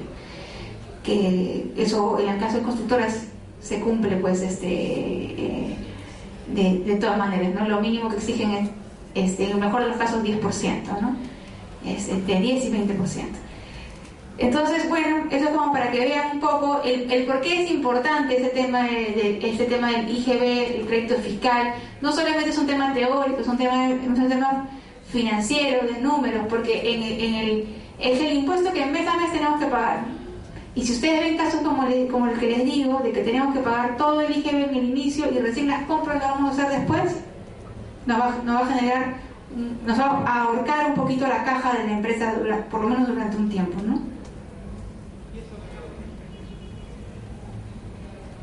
En el caso de las prestaciones de servicios, eh, la obligación tributaria nace en la fecha igual que se emite el comprobante de pago o en la fecha en que se perciba la retribución del servicio, lo que ocurra primero. En el caso de la utilización de servicios no domiciliados, la obligación tributaria del IGB nace en la fecha en que anotemos el comprobante de pago en el registro de compras o en la fecha en que paguemos la retribución al no domiciliario, lo que ocurre primero. Es decir, no necesita de que nos emitan el comprobante de pago desde el exterior. Basta con que nosotros paguemos para que nosotros estemos obligados al pago de utilización de servicios de no domiciliados. En el caso de contratos de construcción, es en la fecha igual de emisión del comprobante de pago, en la fecha en que se percibe el ingreso, lo que ocurra primero, en el caso de primera venta de inmuebles, en la fecha de percepción del ingreso por modo total o parcial, y en el caso de la importación de bienes, en la fecha en que se solicite el despacho a consumo. En el caso de la importación, como ya les había dicho hace un rato, no importa eh, tanto discutir el tema del nacimiento de la obligación, porque es la propia aduana la que nos va a liquidar y nos va a requerir el pago del impuesto para poder retirar la mercancía de, la, de aduanas. El otro caso que tenemos este, para, el, para el caso de eh, definir la base imponible, porque una vez que ya sabemos quiénes son los contribuyentes, cuándo nace la operación, ahora lo que interesa saber es y sobre qué pago, ¿no? Y a eso nosotros le llamamos base imponible. En el caso de venta de bienes es el valor de venta del bien. Y aquí no solamente es lo que nuestro margen de ganancia, es todo lo que nosotros hayamos tenido que incurrir para realizar esa venta de bien. ¿no? Así como de repente, si es que para vender este bien necesitamos dar un, un producto accesorio, ¿no? Este, si este, eh, por, ejemplo, em, yendo, yendo al caso, por ejemplo, como les decía un rato, de, eh, de las galletas, por ejemplo, ¿no? que se me viene acá la mente una eh, nosotros, lo que a nosotros nos interesa es la galleta que está adentro para comernos, pero nosotros no podemos, o sea, como empresa para venderlo, este, no tenemos, este, no podemos vender pues así las galletas por unidad. Necesitamos ponerle una envoltura, ¿no? Tenemos para que para que esté bien presentado, para que la gente lo pueda adquirir y conocer. Ese plástico, esa envoltura, esa bolsa, ¿no? En la medida que la la galleta está grabada con IG, eso también puede estar grabado. ¿Por qué? Porque es accesorio al bien principal. El principal es el, el, al artículo de consumo, ¿no? Y, lo otro es el material necesario para poder distribuir este bien. Este, igual ocurre en el caso de, por ejemplo, de, de, productos congelados, ¿no? No va a un producto congelado, tiene que tener un material especial, unas bolsas recubiertas de manera especial, ¿no? Que han hecho que estos, que estos, este, que estos bienes que en algún momento pudieran ser grabados, al momento de haber sido transformados, comercializados, ya ocasiona que su venta esté grabada con IGB. Este, por ejemplo, estos bienes con conservantes, ¿no? ya han tenido una especie de valor agregado y eso hace que su transferencia esté grabada con IGB y si a eso le ponemos una, un recubierto, una caja o un, este, un plástico, ¿no? todos estos bienes este, también están grabados con forman parte de la base imponible del impuesto. luego también tenemos, para el caso de, de prestación de servicio o utilización de servicios, el importe total de la retribución, ¿no? Este, y aquí, por ejemplo, en el importe total de retribución, en el caso de servicios de no domiciliados, por ejemplo, pasaba el caso en el cual se contrataban eh, se contrataban algunos técnicos, eh, y hay unas RTF de, ese tema, se contrataban técnicos del exterior para que den servicios de asistencia técnica acá en Perú.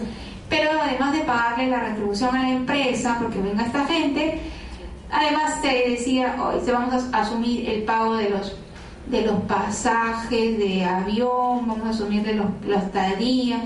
Entonces ya el Tribunal Fiscal ha dicho que todo eso importe forma parte de la retribución del, no domiciliado. ¿Por qué forma parte de la retribución del no domiciliado? Porque es el dinero que el no domiciliado, si nosotros no hubiésemos pactado eso, debió haber gastado en mismo. Para que venga esa gente, debió haber, haber siempre debió haber incurrido en el en el costo del alojamiento, en el costo del pasaje. Entonces, entonces este, como la empresa peruana le habría ahorrado ese, importe, este, la administración tributaria y el tribunal fiscal también lo ha ratificado diciendo todo esto forma parte de la retribución. Al formar parte de tu retribución, como no domiciliado, esto es base de cálculo para tu retención de impuesto a la renta y también para el caso de la determinación del IGB. Luego tenemos que la base disponible del impuesto en los contratos de construcción es el valor de la construcción, lo que se haya pagado, especificado en el contrato. En el caso de venta de inmuebles es el ingreso percibido excluyendo el valor del terreno. Esto siempre es así. En el caso de venta de bienes inmuebles, el valor del terreno nunca está grabado. En general, ninguna transferencia de terrenos está grabada con IGB. ¿Por qué? Porque no hay valor agregado. Es un bien al que no hay valor agregado. Y el IGB graba solo los valores agregados. Por eso es que se graba, como les decía hace un rato, la primera venta de bienes efectuada sobre el constructor, porque lo que se va a grabar es sobre, sobre el cascarón, sobre la parte de la edificación.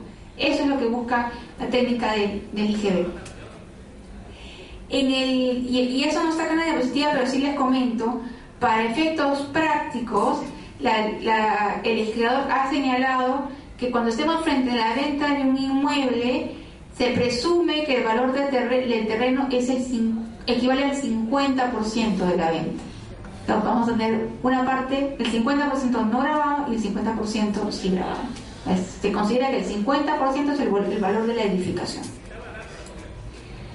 En el caso de eh, importaciones de bienes, la base imponible es el valor CIF, ¿no? Con los fletes y seguros. El IGB es un impuesto que se calcula de manera mensual. Y en este y, este impuesto una vez que nosotros ya tenemos definida la base imponible lo que vamos a hacer este al momento de definir esa base imponible que también podríamos denominar débito fiscal del mes se le va a reducir el crédito fiscal es decir todo lo que hemos pagado por las adquisiciones de bienes y servicios en y que estamos consignando nuestra declaración. Eh, en el caso, por ejemplo, de la importación de bienes y utilizaciones de servicios prestados por no domiciliados, el impuesto que se vaya a pagar es un impuesto bruto. Ahí no hay, ahí no hay nada que restar. Es sobre la base del bien se aplica el impuesto. Pero como ya les había comentado, ese impuesto que paguemos, luego nosotros lo vamos a poder usar como crédito fiscal a partir del mes en que nosotros vayamos a hacer el pago del IGE.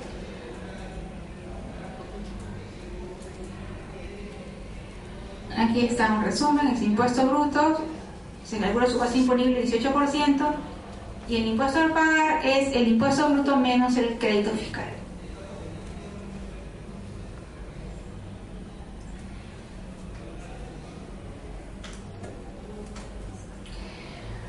Ahora, vamos a, lo más importante y hasta cierto punto lo más enredado en el día a día, digamos, ¿no? No enredado, pues, sino en el sentido de que es,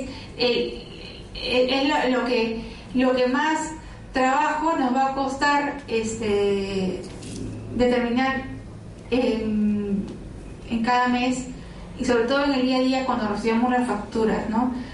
Y eso lo digo porque como el IGB es un impuesto de liquidación mensual, hay que estar bastante pendientes de lo que estemos recibiendo para efectos de poder discriminar y saber si la adquisición de un bien o un servicio nos genera el derecho a un crédito fiscal. ¿no? no es así como el impuesto a la renta, que estos temas recién se pueden ver, o sea, tienen que ver necesariamente hasta concluido eh, fin de año, ¿no? hasta que acabe el, periodo tributario. Pero en el, caso, eh, en el caso del crédito fiscal, el periodo tributario es mensual, no anual. Ahora, el crédito fiscal está constituido por el IGB que se consigne en el comprobante de pago, que respalde la adquisición de bienes o servicios y contratos de construcción, o el que esté pagado en las importaciones de bienes o utilizaciones de servicios, como habíamos señalado hace un rato. Entonces, si estamos ante venta de bienes muebles, prestaciones de servicios, contratos de construcción, primeramente de bienes inmuebles, obligatoriamente para tener derecho a crédito fiscal necesitamos un comprobante de pago. Eso es el, el, requisito número uno. Sin comprobante de pago ya no vamos a tener derecho al crédito fiscal. En el caso de las importaciones de bienes y utilizaciones de servicios, sí, porque eh, para efecto de tener derecho al crédito fiscal, lo que importa es el IGB que se haya pagado con la importación, con la DUA, ¿no? y en el caso de la utilización de, servicios de no domiciliados, vamos a, necesitar el, el solamente el, pago directo que va a hacer el, contribuyente cuando le haga el pago de la retribución a la empresa no domiciliada, siempre que no haya todavía recibido el comprobante de pago. El comprobante de pago en el caso no domiciliados es importante, sobre todo para el caso de impuesto a la renta, porque sin comprobante de pago no van a poder sustentar el, el gasto para efectos de renta.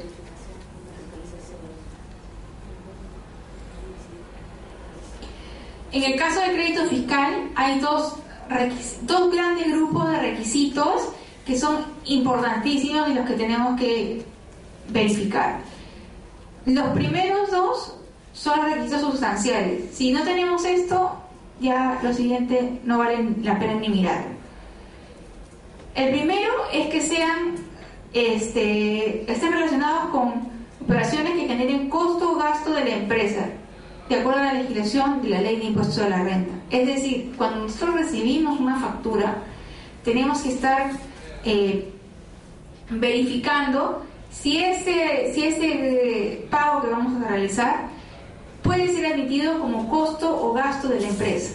Así, por ejemplo, si tenemos que estamos recibiendo este, una, una, una factura por la adquisición de un auto de último modelo del, año, por ejemplo, un, por poner un, un, caso así de un auto bastante caro, un Audi, por ejemplo, un Audi, este, pero que va a ser para el hijo del accionista, ¿no? que no trabaja en la empresa, no tiene ningún cargo directivo y nada por el estilo, ese, esa compra de bien que va a estar grabada con IGB posiblemente sea cuestionada para efectos del impuesto a la, renta, porque no va a ser un gasto necesario para la empresa, necesario para que la empresa pueda generar sus operaciones, para que pueda generar sus rentas, ¿no?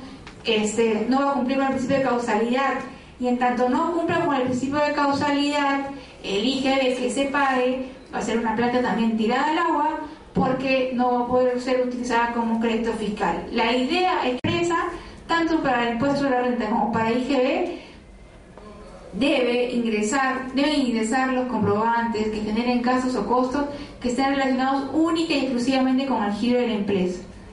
Cuando está relacionado con temas personales o temas que no estén vinculados con el giro de la empresa, simplemente eso es no admitido como gasto. Y no solamente en el caso de que no sea necesario, también hay que estar verificando de que sean gastos que no superen los límites que ponen la ley de impuesto a la renta, porque puede ser, sí, efectivamente un gasto este, eh, que digamos pueda ser causal, lo que sea necesario para la empresa, el, el caso de los gastos recreativos, no este el caso de los eh, de los gastos de representación, que si mal no recuerdo es el 0.5% de los ingresos brutos de la empresa, ¿no? O sea, pueden ser gastos que sí se pueden haber realizado en favor de clientes, en favor de, del personal, para mantener un ambiente bonito en la empresa, pero si lamentablemente supera el límite que es la ley de impuesto a la renta, eso no va a ser gasto porque no supera el límite cuantitativo. Y si no supera y si no supera eh, perdón si supera el límite y no es gasto lamentablemente todo ese crédito fiscal se va a tener que eh, no se va a poder utilizar entonces es algo eh, ese tema de los requisitos sustanciales es algo que debe estar verificándose en el día a día ¿no? y, y siempre sería bueno tener a las personas a, personas así que, que sean bastante meticulosas y rigurosas en, en, revisar los comprobantes de pago, ¿no? Luego, este, el segundo tipo de requisito sustancial es que me va a generar crédito fiscal aquella adquisición de bien o de servicio que va a estar destinado a una operación grabada con IGB. Y eso es por la técnica del impuesto contra impuesto, ¿no? O sea, de, que como estamos en una cadena de comercialización, lo que, este, si, nos, si nosotros vamos a querer utilizar algo como crédito fiscal, es porque posteriormente vamos a tener necesariamente que vender algo grabado con IGB, a fin de que el impuesto pueda ser neutral. Si no está destinado a una operación grabada con IGB, lamentablemente ese esa adquisición que, por la cual hemos pagado IGB no nos va a dejar, no va a dar derecho a un crédito fiscal. No obstante, hay ciertos rubros en que el cual el legislador prevé este tema y, da algunos beneficios. El caso más clásico es el, de los exportadores. Los exportadores, es, usualmente, por ejemplo, las textileras. muchas textileras tienen como finalidad vender eh, prendas a mercados internacionales, precisamente por el buen algodón que se tiene acá en Perú. Entonces, pero estas empresas para poder realizar la venta de polos, de casacas, de lo que sea, de, cualquier eh, prenda textil, necesita obviamente comprar todos sus insumos en el Perú, o la mayoría de los insumos los compran en Perú. Cuando compran estos insumos, por todo ello tienen que pagar IGB. Entonces, el fisco, frente a ello, ¿qué hace? No? A ver, la exportación le genera, genera bien al país, genera, genera entrada de divisas, ¿no? Y, tenemos a estas personas que este, están pagando un IGB que nunca van a poder recuperar, porque la exportación de bienes es una operación que no está grabada en el Perú, porque el consumo se da en el exterior, como es en casi toda la legislación.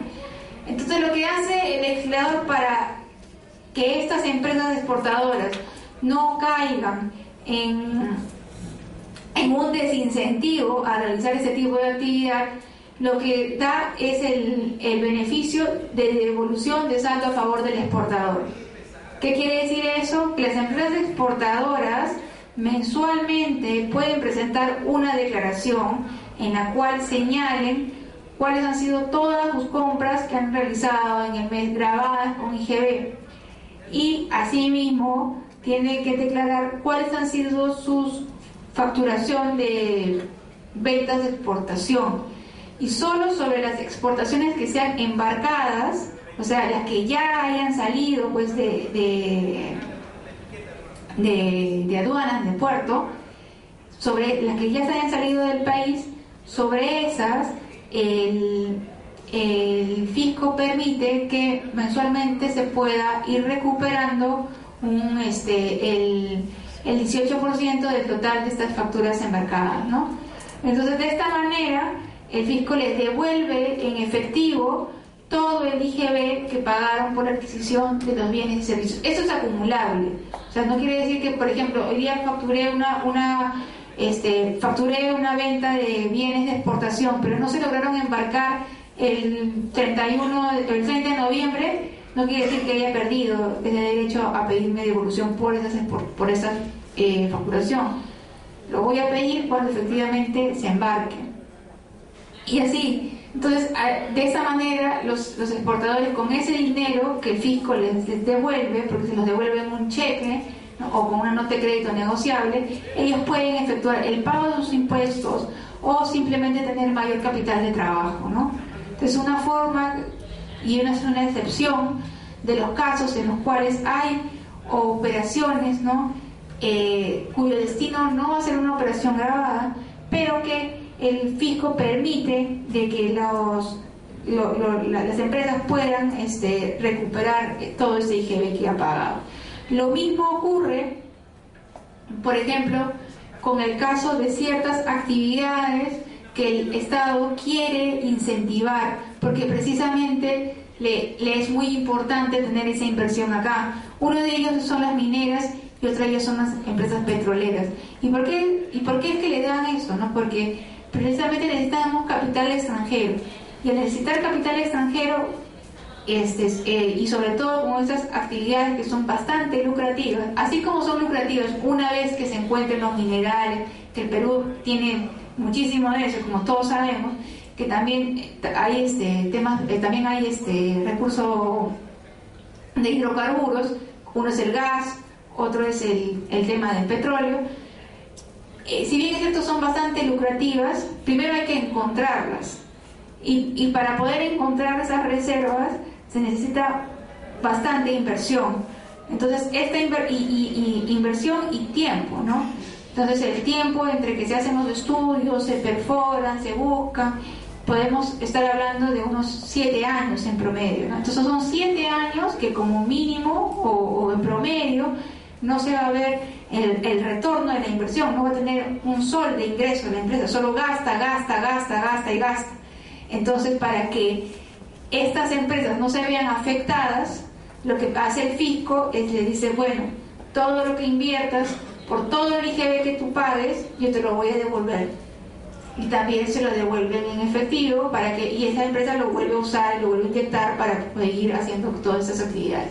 Entonces, hay ciertos tipos de operaciones que, o sea, ciertos rubros de actividades que no generan ventas grabadas con IGB. Compran, compran, compran, pero no generan ventas grabadas.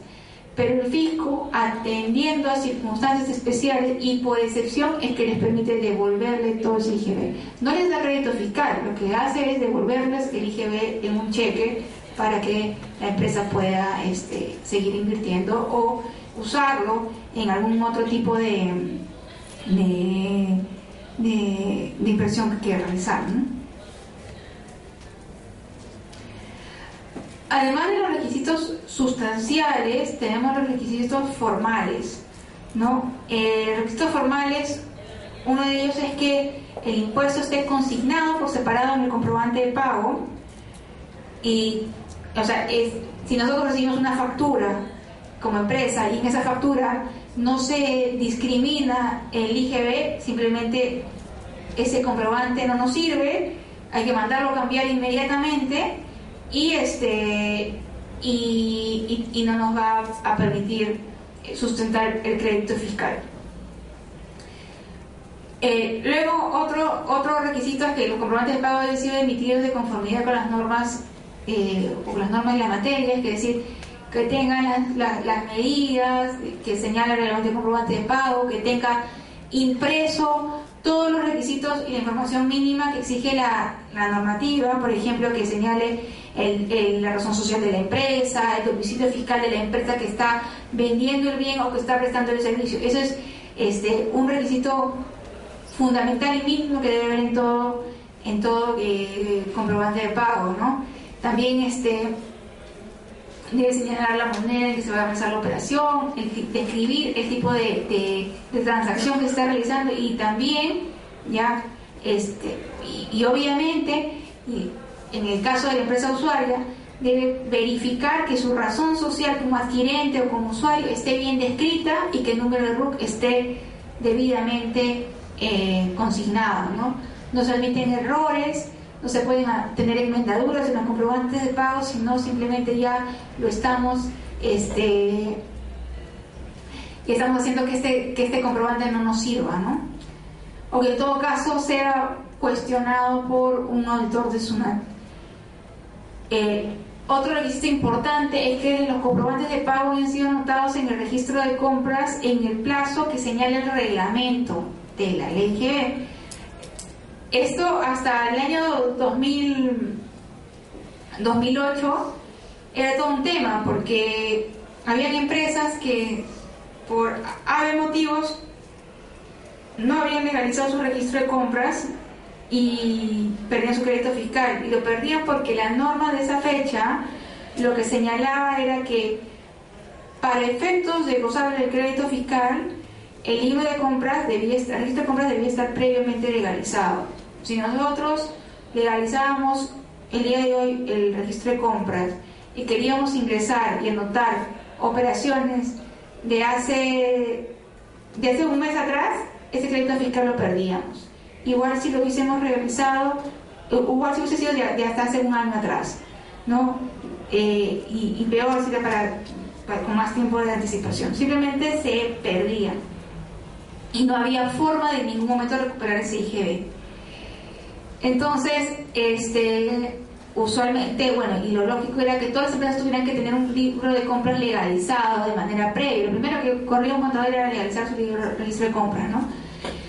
Pero pasaba que a veces, este, porque bueno, se puede, a la persona se puede olvidar, porque pueden pasar mil y un cosas en, en, eh, en cierto plazo, ¿no?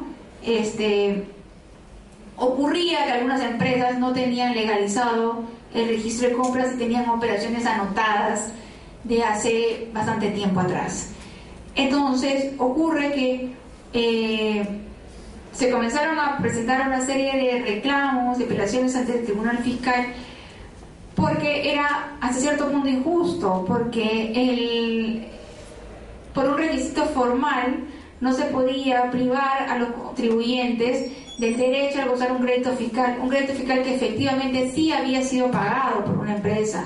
estamos, no estamos hablando de operaciones inventadas, era un crédito que la empresa había, había pagado, de que había sido bienes utilizados en su, en su actuar diario para su posterior comercialización y por, un y por una simple formalidad no podía este, desconocerse todo ese crédito fiscal. Incluso, y les cuento el caso y, esto sí es un ejemplo clarísimo de cuán injusto era este tema, que bueno, que estaba en la norma, porque así era. Este, había una empresa que se dedicaba a, comercial, a comercializar en el Perú electrodomésticos. Obviamente esta empresa este, tenía que traer los electrodomésticos del exterior entonces, estábamos hablando de que casi un 95% de sus compras eran importaciones. Y como les he comentado, en la importación, el IGB no lo determino yo, no lo pago yo, me lo cobra la aduana. ¿Me entienden? La aduana me liquida y me emite una aduana. ¿Qué, ¿Qué más fea ciencia que eso? La, la, aduana ha visto mi producto, los ha ingresado, me ha dado una TUA y yo he pagado el crédito fiscal. Y en ese caso, la empresa este, por errores del destino, había pasado que este, su contador se, había olvidado de que ya no tenía papel, de que tenía que legalizar, luego así fue el tema, y se le pasaron tres años en registro de compras legalizado. Y estábamos hablando de muchísimo dinero por cada año. Y bueno, entonces este, a, lo que voy es, en este caso no puede decirse que es una operación falsa, no puede decirse que es una operación no fehaciente, el 95% de todas sus compras había sido este, verificado por la aduana, había sido, este, eh, ¿qué más prueba de ello? ¿Qué más prueba de ello? De que se había comprado un producto y se había comprado bien, y se había pagado bien, y además la empresa había vendido los bienes a terceros. O sea, ¿qué, qué, qué más prueba de ello? ¿No? Entonces, este, y, sobre eso, pues, ah, porque además de conocerte el IGB, te cobran la multa por haber tomado el crédito fiscal y todas esas cosas, que así estaba la norma. Pero frente a ello, frente a ello, salió la, la ley 28, la 28, 915, 28, 914, este, me parece que esos son los números, ahorita no los recuerdo exactamente, pero salieron en el año 2008 y lo que, lo que sacó esa norma es que, y precisamente pensando en que los requisitos formales son importantes, pero tampoco pueden, tienen que ser tan duros. Entonces, lo, lo, que se señaló en este caso es que para todos los expedientes que estaban en, que estaban en trámite de apelación o reclamación, podían, este, se debería reconocer su crédito fiscal en la medida de que ya hubiesen legalizado su registro de compra y, a partir del mes en que notaran, realizaran la anotación, de ahí en adelante. Entonces se les dio una chance. No se les dijo, lo pierden. ¿Entiendes? No se les dijo, lo pierden. Entonces, este. Porque precisamente lo que se quería hacer es que lo sustancial prime sobre lo formal, ¿no? Y luego, lo que se señaló también en el tema es que las empresas podían, primero, anotar sus, sus comprobantes de pago hasta en un plazo de 12 meses, ¿no? y es, antes eran solamente cuatro, entonces se flexibilizó un poco este tema. Poste, asimismo, en esa misma norma lo que se señaló es que este, si el, el hecho, que primero, en principio se debe tener un registro de compras legalizado antes de su uso, ¿no?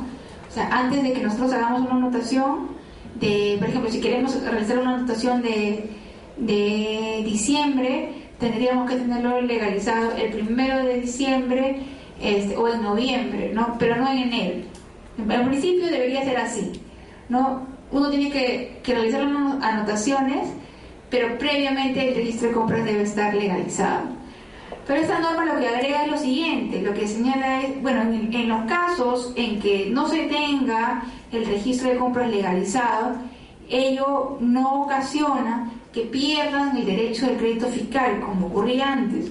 Lo que ocasiona, o lo que se permite, es que se legalice el libro y se hagan anotaciones de los comprobantes de pago que, por los cuales se haya pagado crédito fiscal.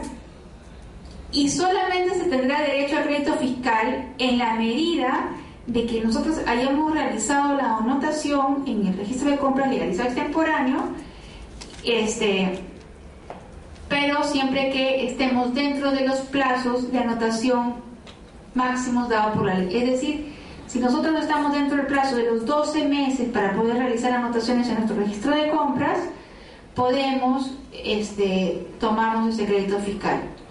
Como un ejemplo, si yo, por ejemplo, tengo un, un, un comprobante de pago de diciembre del año, o de enero, de, perdón, del, del año. Si tenemos un comprobante de pago de enero de este año por el cual hemos pagado crédito fiscal. Si hubiésemos estado con otra norma y recién legalizamos el registro de compras en diciembre del 2012, ese crédito fiscal que, que pagamos en enero nunca lo hubiésemos podido utilizar.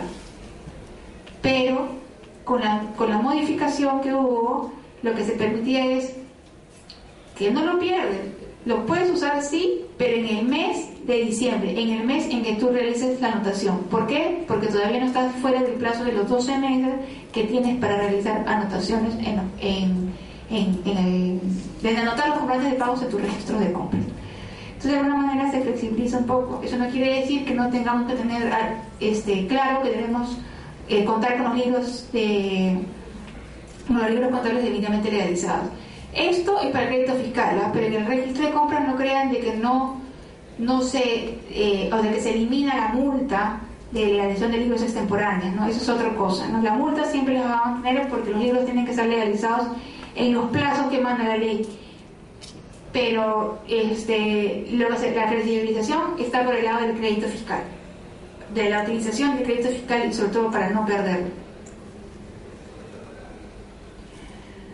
Bueno, y finalmente, el, último punto es ya la declaración y pago del impuesto, ¿no? El, el IGB, en este caso, es un impuesto que se paga de manera mensual. Se declara y se paga de manera mensual. Nosotros tenemos para declararlo, en principio, desde el primer día, desde el primer día del, del hábil del mes siguiente, en la fecha en que, en que nació la obligación tributaria IGB. Si, si por ejemplo estamos ahorita en en, en, diciembre, en diciembre las personas que quieran declarar sus, eh, sus operaciones del mes de noviembre, en principio desde el 1 de diciembre lo han podido realizar. Porque el, como es una información electrónica, el PET te, admite que lo envíes desde el día, desde el día 1. No así, por ejemplo, si estamos por concluir diciembre, todavía no podemos enviar el PET de diciembre porque es un puesto que cierra al mes. Eh, sin embargo, los plazos máximos de presentación son los que se determinen de acuerdo a nuestro calendario eh, en función al último dígito del RUC que se ha dado por SUNAT. En, en este caso, en el PT 621, que es la declaración eh, más eh, usual para presentar el pago del IGB, se deberán declarar todas las ventas grabadas, exoneradas realizadas en, un, en el periodo tributario del cual estemos nosotros declarando, ¿no? Y en este vamos a tener que señalar la base imponible de IGB, el crédito fiscal y el impuesto que nos hayan retenido, ¿no? Este, o, que o las percepciones que nosotros nos hayan realizado. Es muy importante tener bastante eh, rigurosidad con el tema de la liquidación, y la declaración y el pago, porque existe una multa que varios deben conocer que es la de por declarar cifras o datos falsos que influyan en la determinación de la obligación. Es decir, si yo, por ejemplo, me equivoqué y declaré como impuesto resultante, por ejemplo, este mil cuando debí haber declarado este eh, 1200 por esos eh, si yo rectifico por esos 200 me van a cobrar no solamente los 200 de, de, IGB que debo devolverle al fisco, más los intereses, sino una multa equivalente al 50% de ese precio que no, eh, de, ese, de, ese, impuesto omitido, ¿no? Entonces, esto es este, bastante, bastante delicado porque se habla de una cifra baja, pero en una cifra más alta el, el impacto es mayor y sobre todo que usualmente cuando, cuando nos damos cuenta de estos errores ya ha pasado algún tiempo, ¿no? Y, los intereses siguen corriendo, ¿no?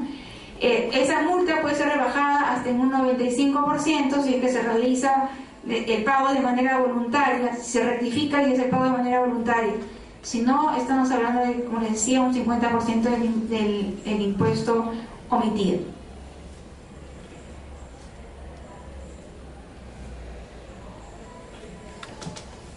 final, bueno, hay un tema más. Este, los principales registros o libros en los cuales se verifica todo ese tema del IGB son el registro de ventas y el registro de compras. ¿no? En ventas nosotros vamos a anotar todas las transacciones por transferencia de bienes, prestaciones de servicios que nosotros realizamos como empresa y en las compras con ello se va a poder determinar el crédito fiscal por las adquisiciones que ya hemos realizado. ¿no? Eh, asimismo, eh, también es necesario, como un medio de control que la SUNAT, la, va a poder verificar la emisión de nuestros comprobantes de pago y, bueno, los correctos órdenes correlativos que nosotros realicemos del tema, ¿no? Para efectos de no, no este, de corroborar que no hay ningún tipo de venta omitida, ¿no? Eh, las copias, los originales de comprobantes de pago y todo lo que es el documento que esté relacionado con, este, con las obligaciones tributarias deben ser custodiados y guardados por la empresa durante el plazo de prescripción del tributo, ¿no? que en este caso son cuatro años contados a partir del primero de enero del año siguiente al cual este, surge la obligación. Si estamos en el mes de noviembre, por ejemplo, del 2012, contamos cuatro años desde el 1 de enero del 2013, ¿no? Pero si estuviéramos en, en, estamos hablando de un periodo de liquidación mensual de diciembre del 2012, ya el plazo de prescripción no cuenta del 1 de enero del 2013, sino desde el 1 de enero del 2014, porque recién la fecha para el vencimiento del pago ocurre en, el siguiente mes, en enero del 2013. Ah, y algo que no está acá, pero que sí quería comentarles finalmente, es que para efectos del crédito fiscal y para que no tengamos, dos, no tengamos cuestionamiento, hay dos puntos adicionales que debemos tener en cuenta. Uno, que si estamos hablando de operaciones de adquisición de bienes de servicios o prestaciones, perdón, adquisiciones de bienes o prestaciones de servicios superiores a mil dólares o 3.500 soles, siempre, y eso lo bien, tiene que estar bancarizado. Si no está bancarizado, simplemente esa operación no da derecho a crédito fiscal. De igual manera, para el caso de operaciones con, que están sujetas a detracciones, si tenemos una factura que conlleva, una, que, está, ampara una venta de bien afecta a detracción o una prestación de servicio sujeta a detracción, para efectos de usar el crédito fiscal, en el mes correcto es necesario pagar la detracción en el plazo que da la ley. Si no pagamos la detracción, ese IGB por crédito fiscal no puede ser utilizado. Esas son las dos normas adicionales a la norma de la IGB que se tiene que tener en cuenta para el cálculo del crédito fiscal y la correcta determinación del IGB en el mes. Bueno, con esto eh, concluye mi participación. Muchas gracias por su atención. Hasta